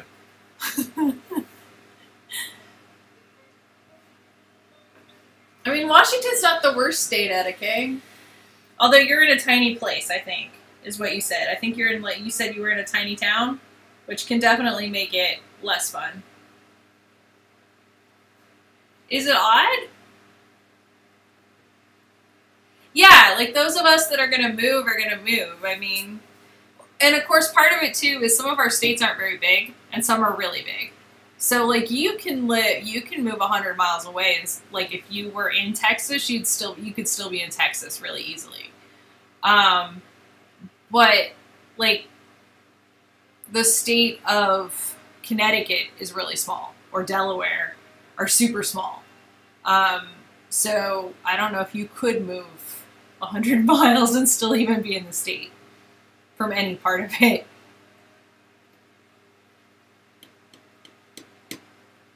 Yikes, Etika. Yeah, that wouldn't be my choice. um, like, and my sister, my sister grew up in Missouri with me, but then when she went to grad school, she went to a grad grad school at American University in D.C. and she lived in Maryland. Um, and now she lives in Virginia, but it's all kind of the same big metro area. So she's lived in two different states there, but again, same metro area.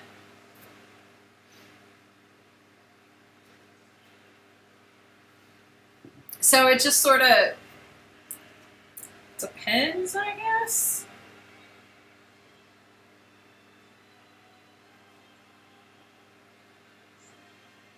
I think those of us that are willing to move will move more often because it's just a thing we're interested in or we're willing to do. Um, the other thing is a lot of people will go to college or grad school somewhere further away, and then it's not unusual for them to live, to continue living in the area that they went to grad school. Um, like a good friend of mine from high school uh, graduated from the same high school I did in Missouri, but he went to college in Kansas, not very far from us, at like a couple, you know, like three hours maybe. Uh, but he went, but after that, he got a job in Texas, and he's moved multiple places in Texas, but like that was where he first got his first job, and he's just kind of stayed in Texas. Like it really worked for him.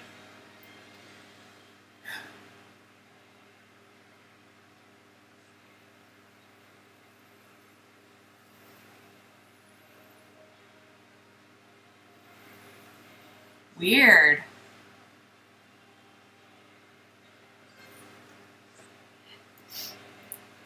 See, I think like it can go back and forth. I mean, there are people I grew up with that really haven't moved far from where I grew up, and they stay really close to their family and they see their family constantly, and they live in that like. I don't know. I haven't. I haven't lived. Like I, my dad lives like two and a half hours away now, and that's the closest I've lived to family in in more than a decade. Um, it's just not.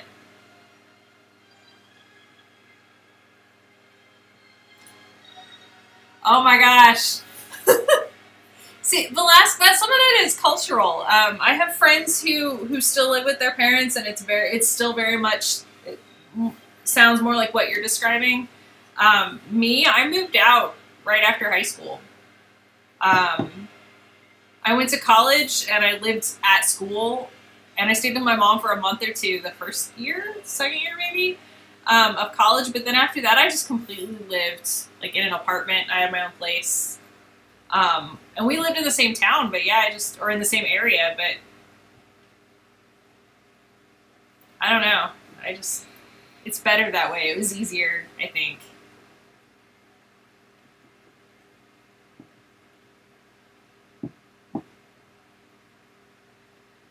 Like, it just kind of depends, I think, on. Yeah, Jim, you don't live that far from your parents, right?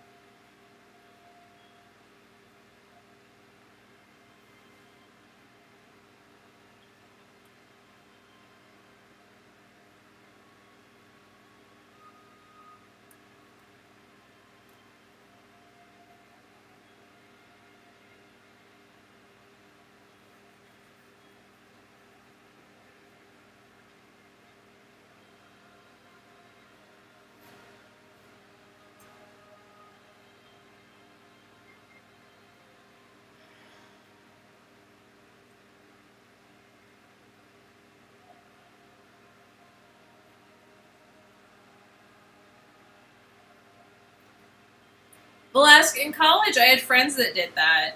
Uh, they went home every weekend. Um, but that just wasn't, I don't know, it wasn't what I did. Also, sometimes the moving depends on the jobs that people are choosing. There's certain careers that you definitely need to move if you're going to work in that in that career.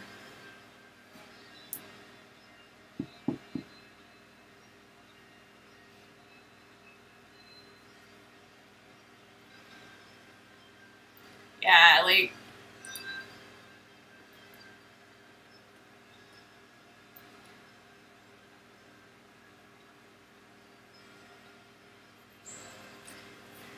etiquette that changes that's a thing too like just in different parts of the us um, like when i when we lived in oregon we didn't drive i mean you know how it is in portland like depending on which side of the river you live on like you plan a day trip if you're to cross the river right? Like you just don't go that far. Um, but here in kansas i've got friends that'll drive two or three hours just to go hang out with other people for the afternoon which is insane to me Mm-hmm.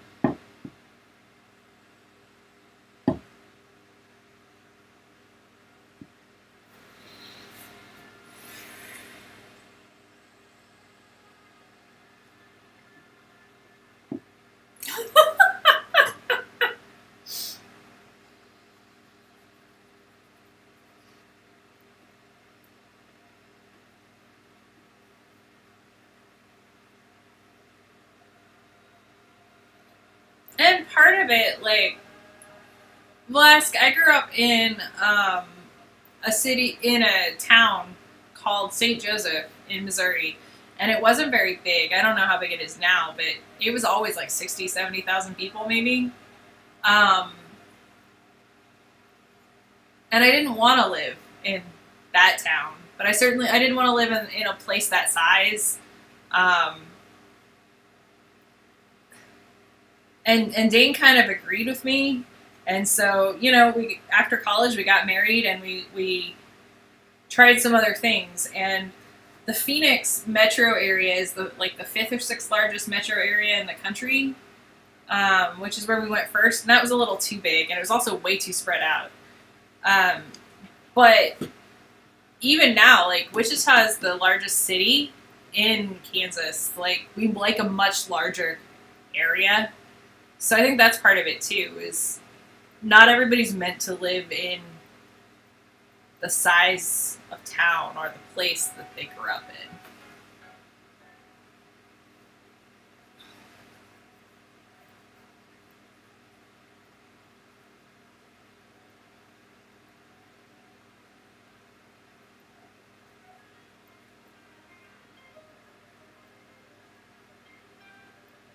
Like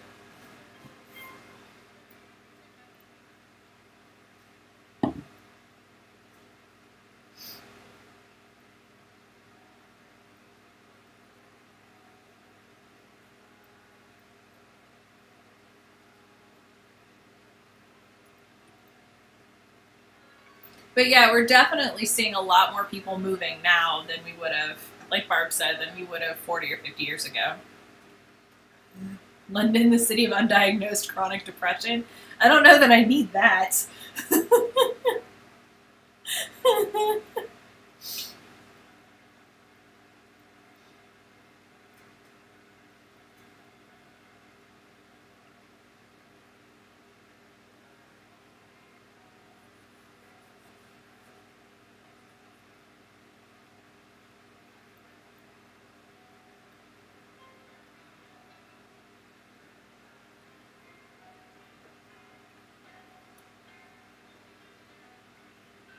Well, and like my sister lives literally halfway across the country. She used to live across the entire country. Like it used to be, I was on the east or on the west coast, and she was on the east coast, um, which is hard. But we still tried to make sure we saw each other at least once or twice a year. Um, but like this will be the first. God, this will be the first year we haven't seen each other in forever. One or both of us flying one way or the other. Yep. Um, but I liked London when I when I visited. I was a high schooler, so you know, who only knows what it would be like now. But I like big cities. I loved New York. I still love New York. hmm Um, Same. like it's it's one of my favorite places to visit.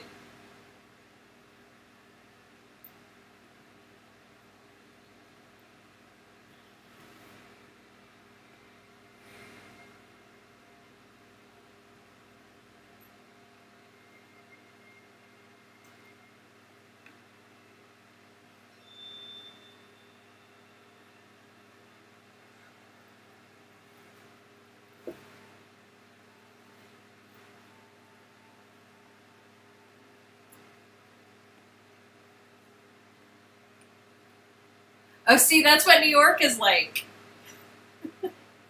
I love that. That's that's like my favorite thing. Um, you know, growing up in a town that wasn't very big, and it wanted to be smaller than it was, and was super just boring.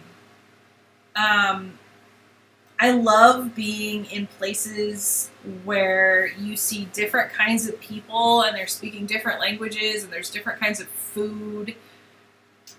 I mean, like that's it's so much fun.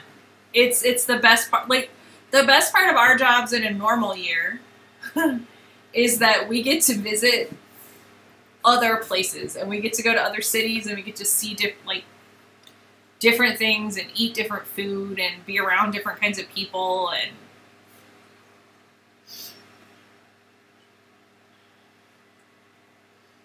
it's it's my favorite thing.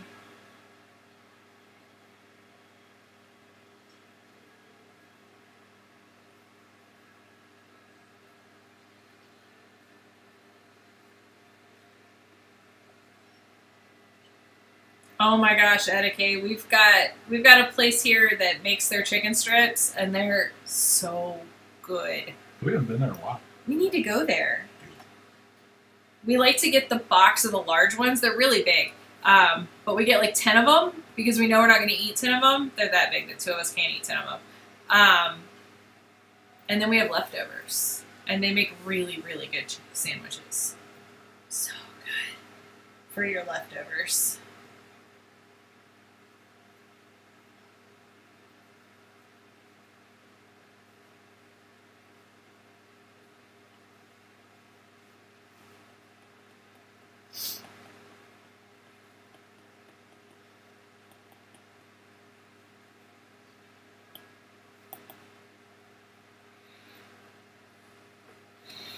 There you go. The sun destroying a pumpkin spice latte.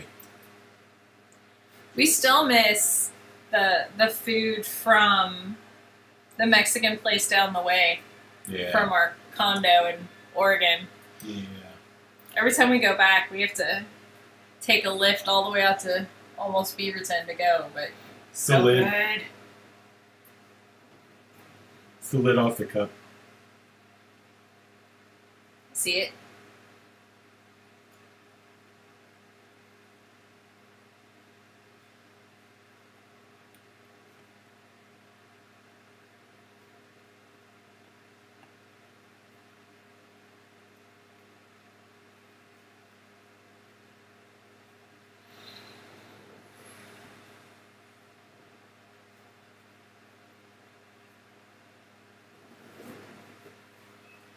Yeah, living next to a cart pod would have been dangerous. They had just put one in in our neighborhood, just up the street from us. Um, but it hadn't gotten very big by the time we left. Like there was a burger joint that it was like the Joe's Burgers place, which was an expensive rip off of In and Out, so we didn't go there very often. And a waffle cart, which wasn't bad, but Well, and they weren't open very often because they were mostly there for the stu- for the there was a school nearby, and they were mostly there during school hours. Yeah. They weren't open very late. That's rude. You shouldn't eat brisket in front of people unless you're sharing. it's true. I feel like that's actually a crime here in the Midwest. There's definitely one in Texas.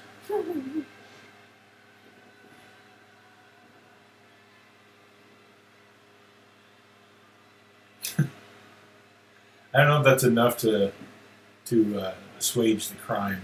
I feel like it isn't, unless it's She's a terrible child.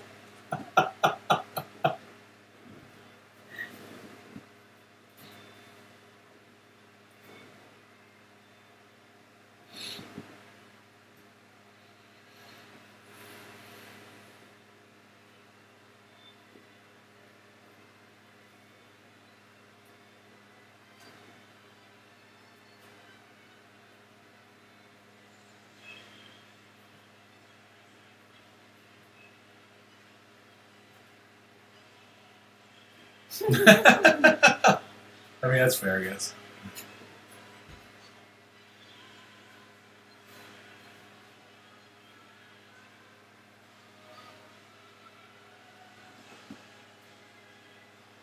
I love how you're putting pumpkins in it so people know what it is. I just noticed that.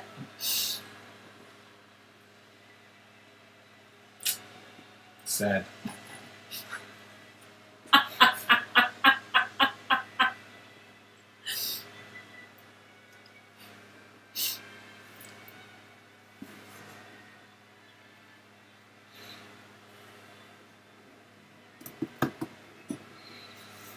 It was more 90s than the snap bracelets from the 90s.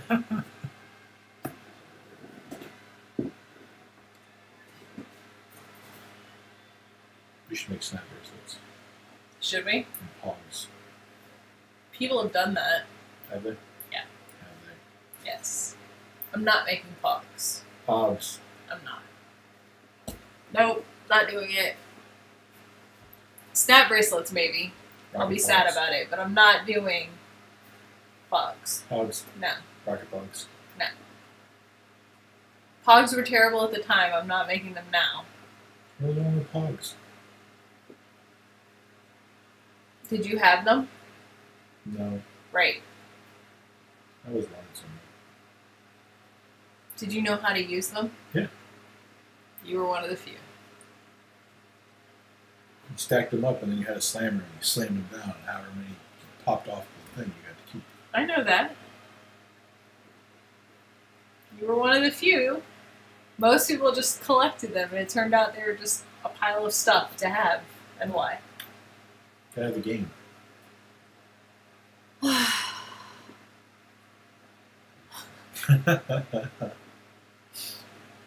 wonder if you could make like die cut snap bracelets. You'd probably cut people, given how they're made. They're metal. Like With a covering. Uh, plastic. Maybe. I remember the old one. Etiquette, if you can come up with some great product ideas and then like price them out for me, Yeah, that's the hard part. it's finding somebody to produce the damn things. Figuring out who's gonna make them and what it's gonna cost, and getting your your numbers under a thousand. Like there are so many things we could do if we wanted to buy a thousand of them. Yeah. It turns out I do not want to buy a thousand of almost anything. Chicken approved. Chicken testing. I wonder. Etiquette, remind me someday um, to make Dane find. There was a point where Dane had a whole bunch of chicken puns that he'd sketched. And you, I think, would be one of the few people that would appreciate it to the extent that we appreciated it while Dane was drawing them. We had so much fun with those. It was a really bad show, and that was the, the bright spot of that show. Um, yeah, yeah, the U.S. has Five Guys. Five Guys started in the U.S. Yep, in Washington D.C. It was Maryland. D.C. area. It was the D.C. metro area, I believe. I like Five Guys, except that the one in Portland, for whatever reason, if you ask for mustard on your sandwich, you got a mustard sandwich. I don't either. Their mustard thing was effed up, and I like mustard on my hamburger, and I don't like it being a mustard sandwich. Mustard sandwich. So, if you ever go to Portland, Five Guys, just beware. they do. They do. do. Yeah, it's pretty great. yeah. Um, I like them, but like, I went with my dad. Oh God, when when he and I came out to to Wichita to look around during a visit before we moved here, and he'd never eaten at one, and he was like, the sandwich is good, but the fry it freaked him out to eat them out of the bag like that. Like he just felt like he was eating trash, and it really bothered him. It was really weird how it just he couldn't do it. I like that one. yeah, me too. That top corner one was just like, ah.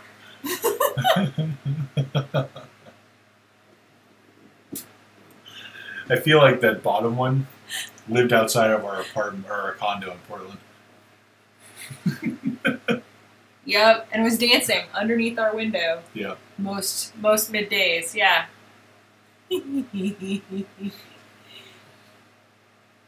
Yep. I bet they did. Yeah, they're pretty great.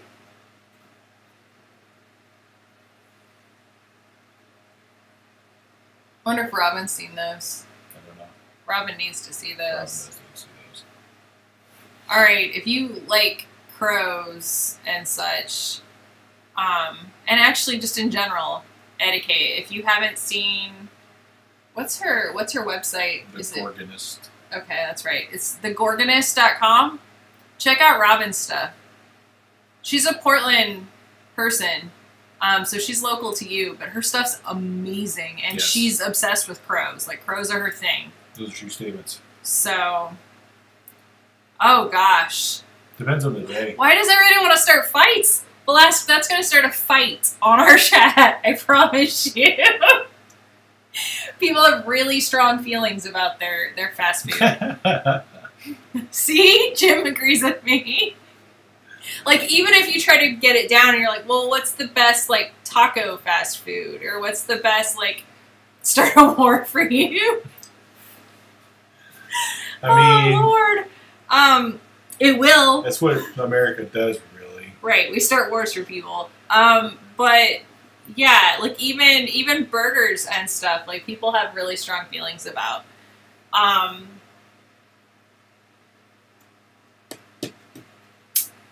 Needs more research.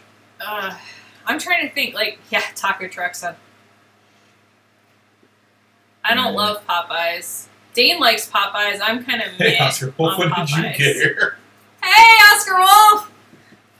We were talking about temperatures earlier, and Velas was giving us temperatures in Celsius that probably would have upset you because they were hot. Um, Tim Hortons enters the chat. oh, Tim Hortons. I actually really like. I have a soft spot in my heart for Tim Hortons. Um, ooh, like okay, A&W. Velas. Here's the thing: A&W is the best, A and W but it's in Canada. in Canada.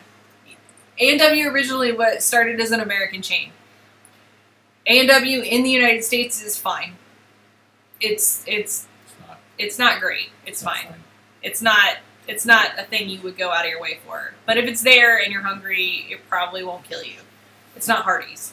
Um, in Canada, it's great.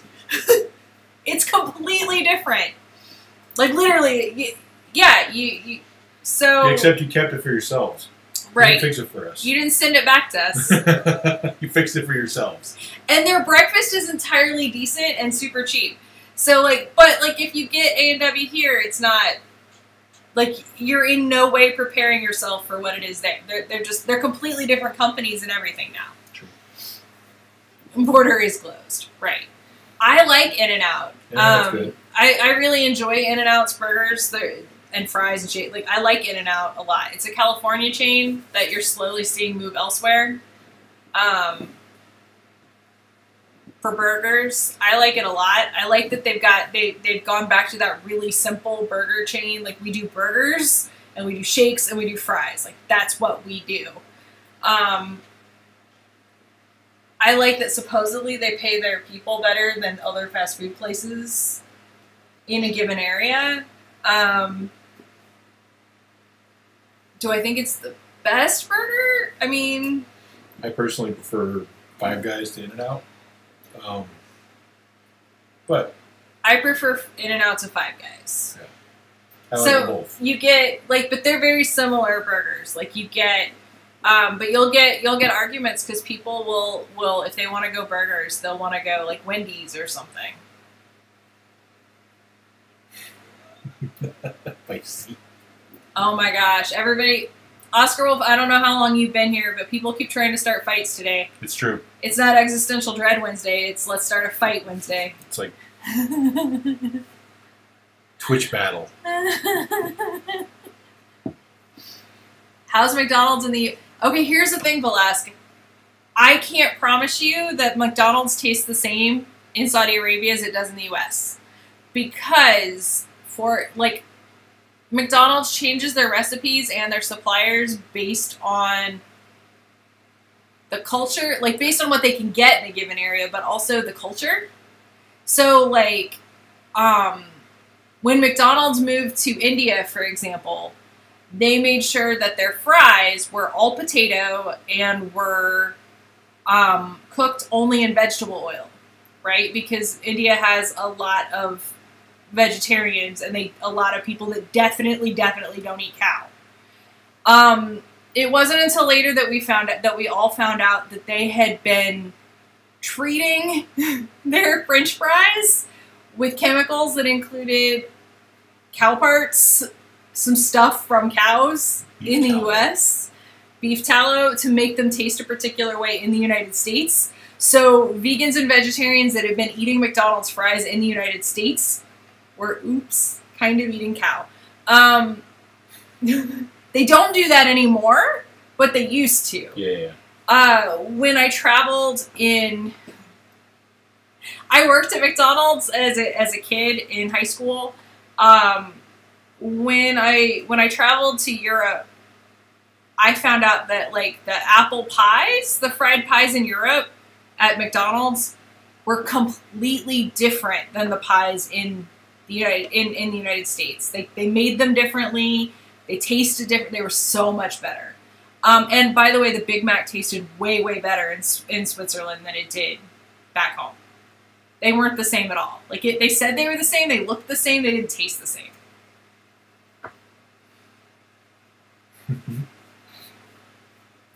Yeah, exactly. Yeah. Um, so it's so it's hard to know like if a company is serving you actually the same food that they're serving in in a different place. True. Um, because like McDonald's tasted so much better in Europe than it did in the United States. I used to work at Sonic, actually, way back in the day. I used to like the chili dogs there. Still do, actually. Night, Aaron. Night, Aaron. Oh, that's nice. Oh, that's super nice. What's a Royale cheese? It's a quarter pounder. In France. Pump your uh, Pulp Fiction, yo. No. Um, yeah.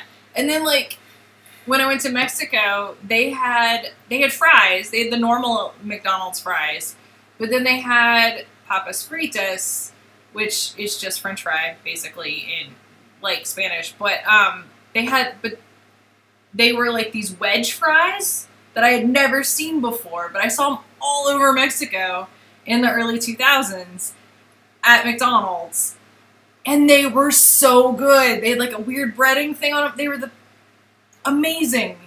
Never seen them since.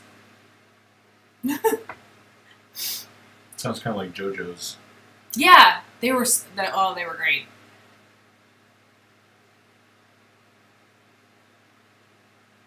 So there is in the United States there have been a couple variations of a spicy chicken sandwich or a spicy McChicken sandwich.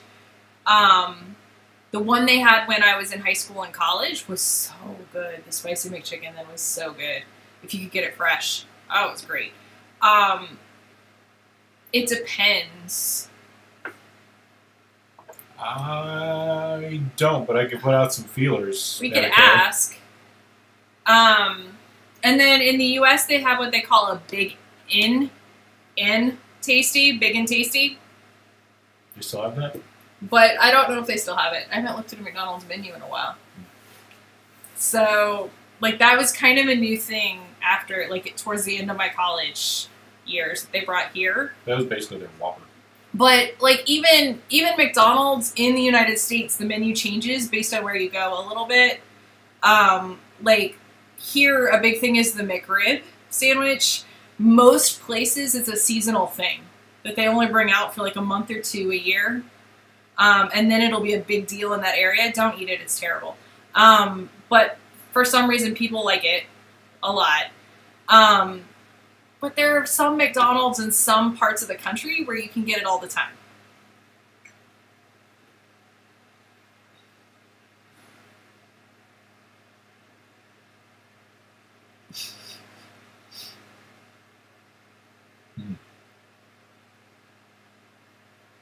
Oh, the McDLT. It was like a McBLT, except it, yeah. Well, there's like the McDLT, which is the one that. uh Yeah, see, Barb, I thought it was then too. Um, but a couple of years when I worked there in college, high school, they brought it out for like a month in the summer, which I have no idea. And then, um, I went to a McDonald's in St. Louis in Missouri where they had it all the time. Like it was just a menu item. And I'd never seen that before. So, what is it? Oh God. I don't actually know what it is. Um, no like- one knows. They claim they know. It's like pulped up pork It- and beef and weirdness. It's basically like hot dogs In that it's But it's, it's- formed into the shape of a pat rib. Yeah, it's it made says of pork. it's pork. It says It's it's, it's it's it probably is made of pork, but it's a formed patty to kind of look like a rib. It's porkish. Um, they've they've formed it like a chicken nugget. Um, and then they Molded. Delicious. they cook them and then they cover them in a sauce. And the sauce is actually pretty good. If you can just get the sauce that hasn't had the ribs cooking in it, but um, it's really gross. Uh, they take these frozen patty things and they just leave them in the freaking sauce and these things and they just cook for. Oh, they're so gross. but people really like them and I think it's not. Thank you. That yeah yeah. What Etiquette said. Yes. It's that and it's pig. Ish. Ish. Oscar, Oh, I've seen the commercial for the McDLT. It's got uh, Jason Alexander from Seinfeld in it. It's great. Oscar Wolf, I think it's more than gross adjacent. Um, I'm not worried about the compressed, mechanically separated meat product part of it. Uh, it's the It way they cook it and the way that people just leave them in there. You cook Um, it by by just soaking it in hot barbecue sauce, like flavoring. Uh, yeah. Having worked at a McDonald's, that was probably one of the grosser things that I saw people eat. Like that is one of the things that I wasn't a big fan. Like I wa- I didn't like them beforehand, but now I definitely would not eat them. Yeah, I think um, I think Velasque broke the Streamlabs thing, so it just gave up tonight. Right?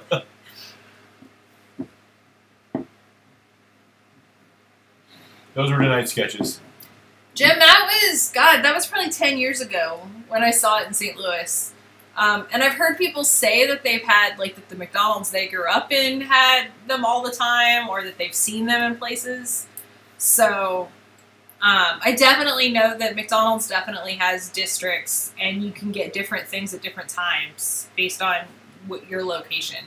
Fun fact: Wichita is supposedly so average that we are the test case for most fast food, which is why we have the only Chipotle drive-through right now.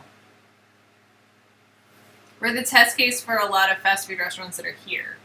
Well, Like I, we're not the. yes. Te- I wish we were the test case for In and Out. yeah, that'd be nice. because then we'd have an in and out. Yeah.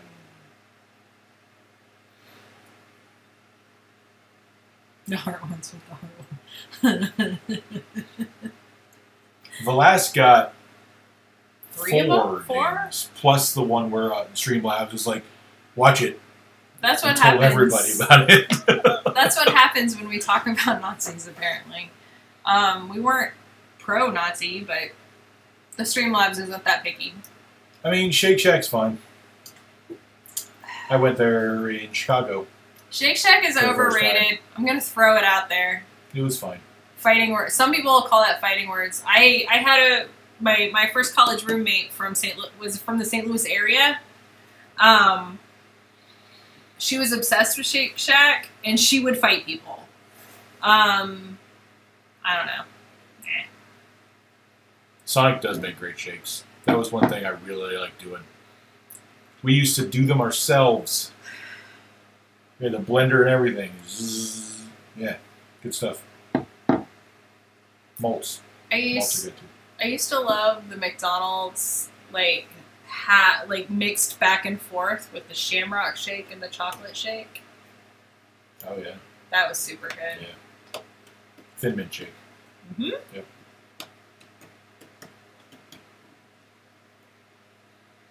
Mmm, piece of pits.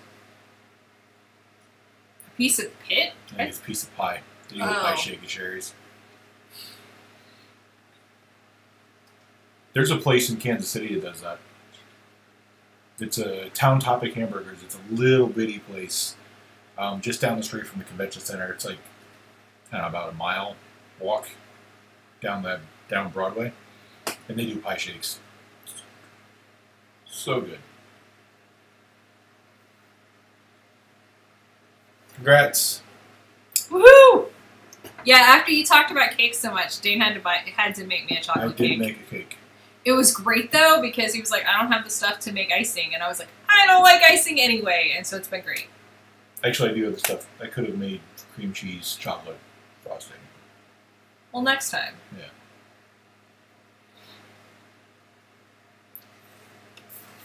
All right, guys. So- yeah, basically, though, that's a great way to get people to, to talk and fight. We'll ask. Like, we all have opinions and thoughts it's a good job. on the fast food and which ones are good and which ones aren't. Um, yeah. Oh God, don't get started on pizza. Wars have literally, literally been fought over that. I'm pretty sure that's what the Civil War was about.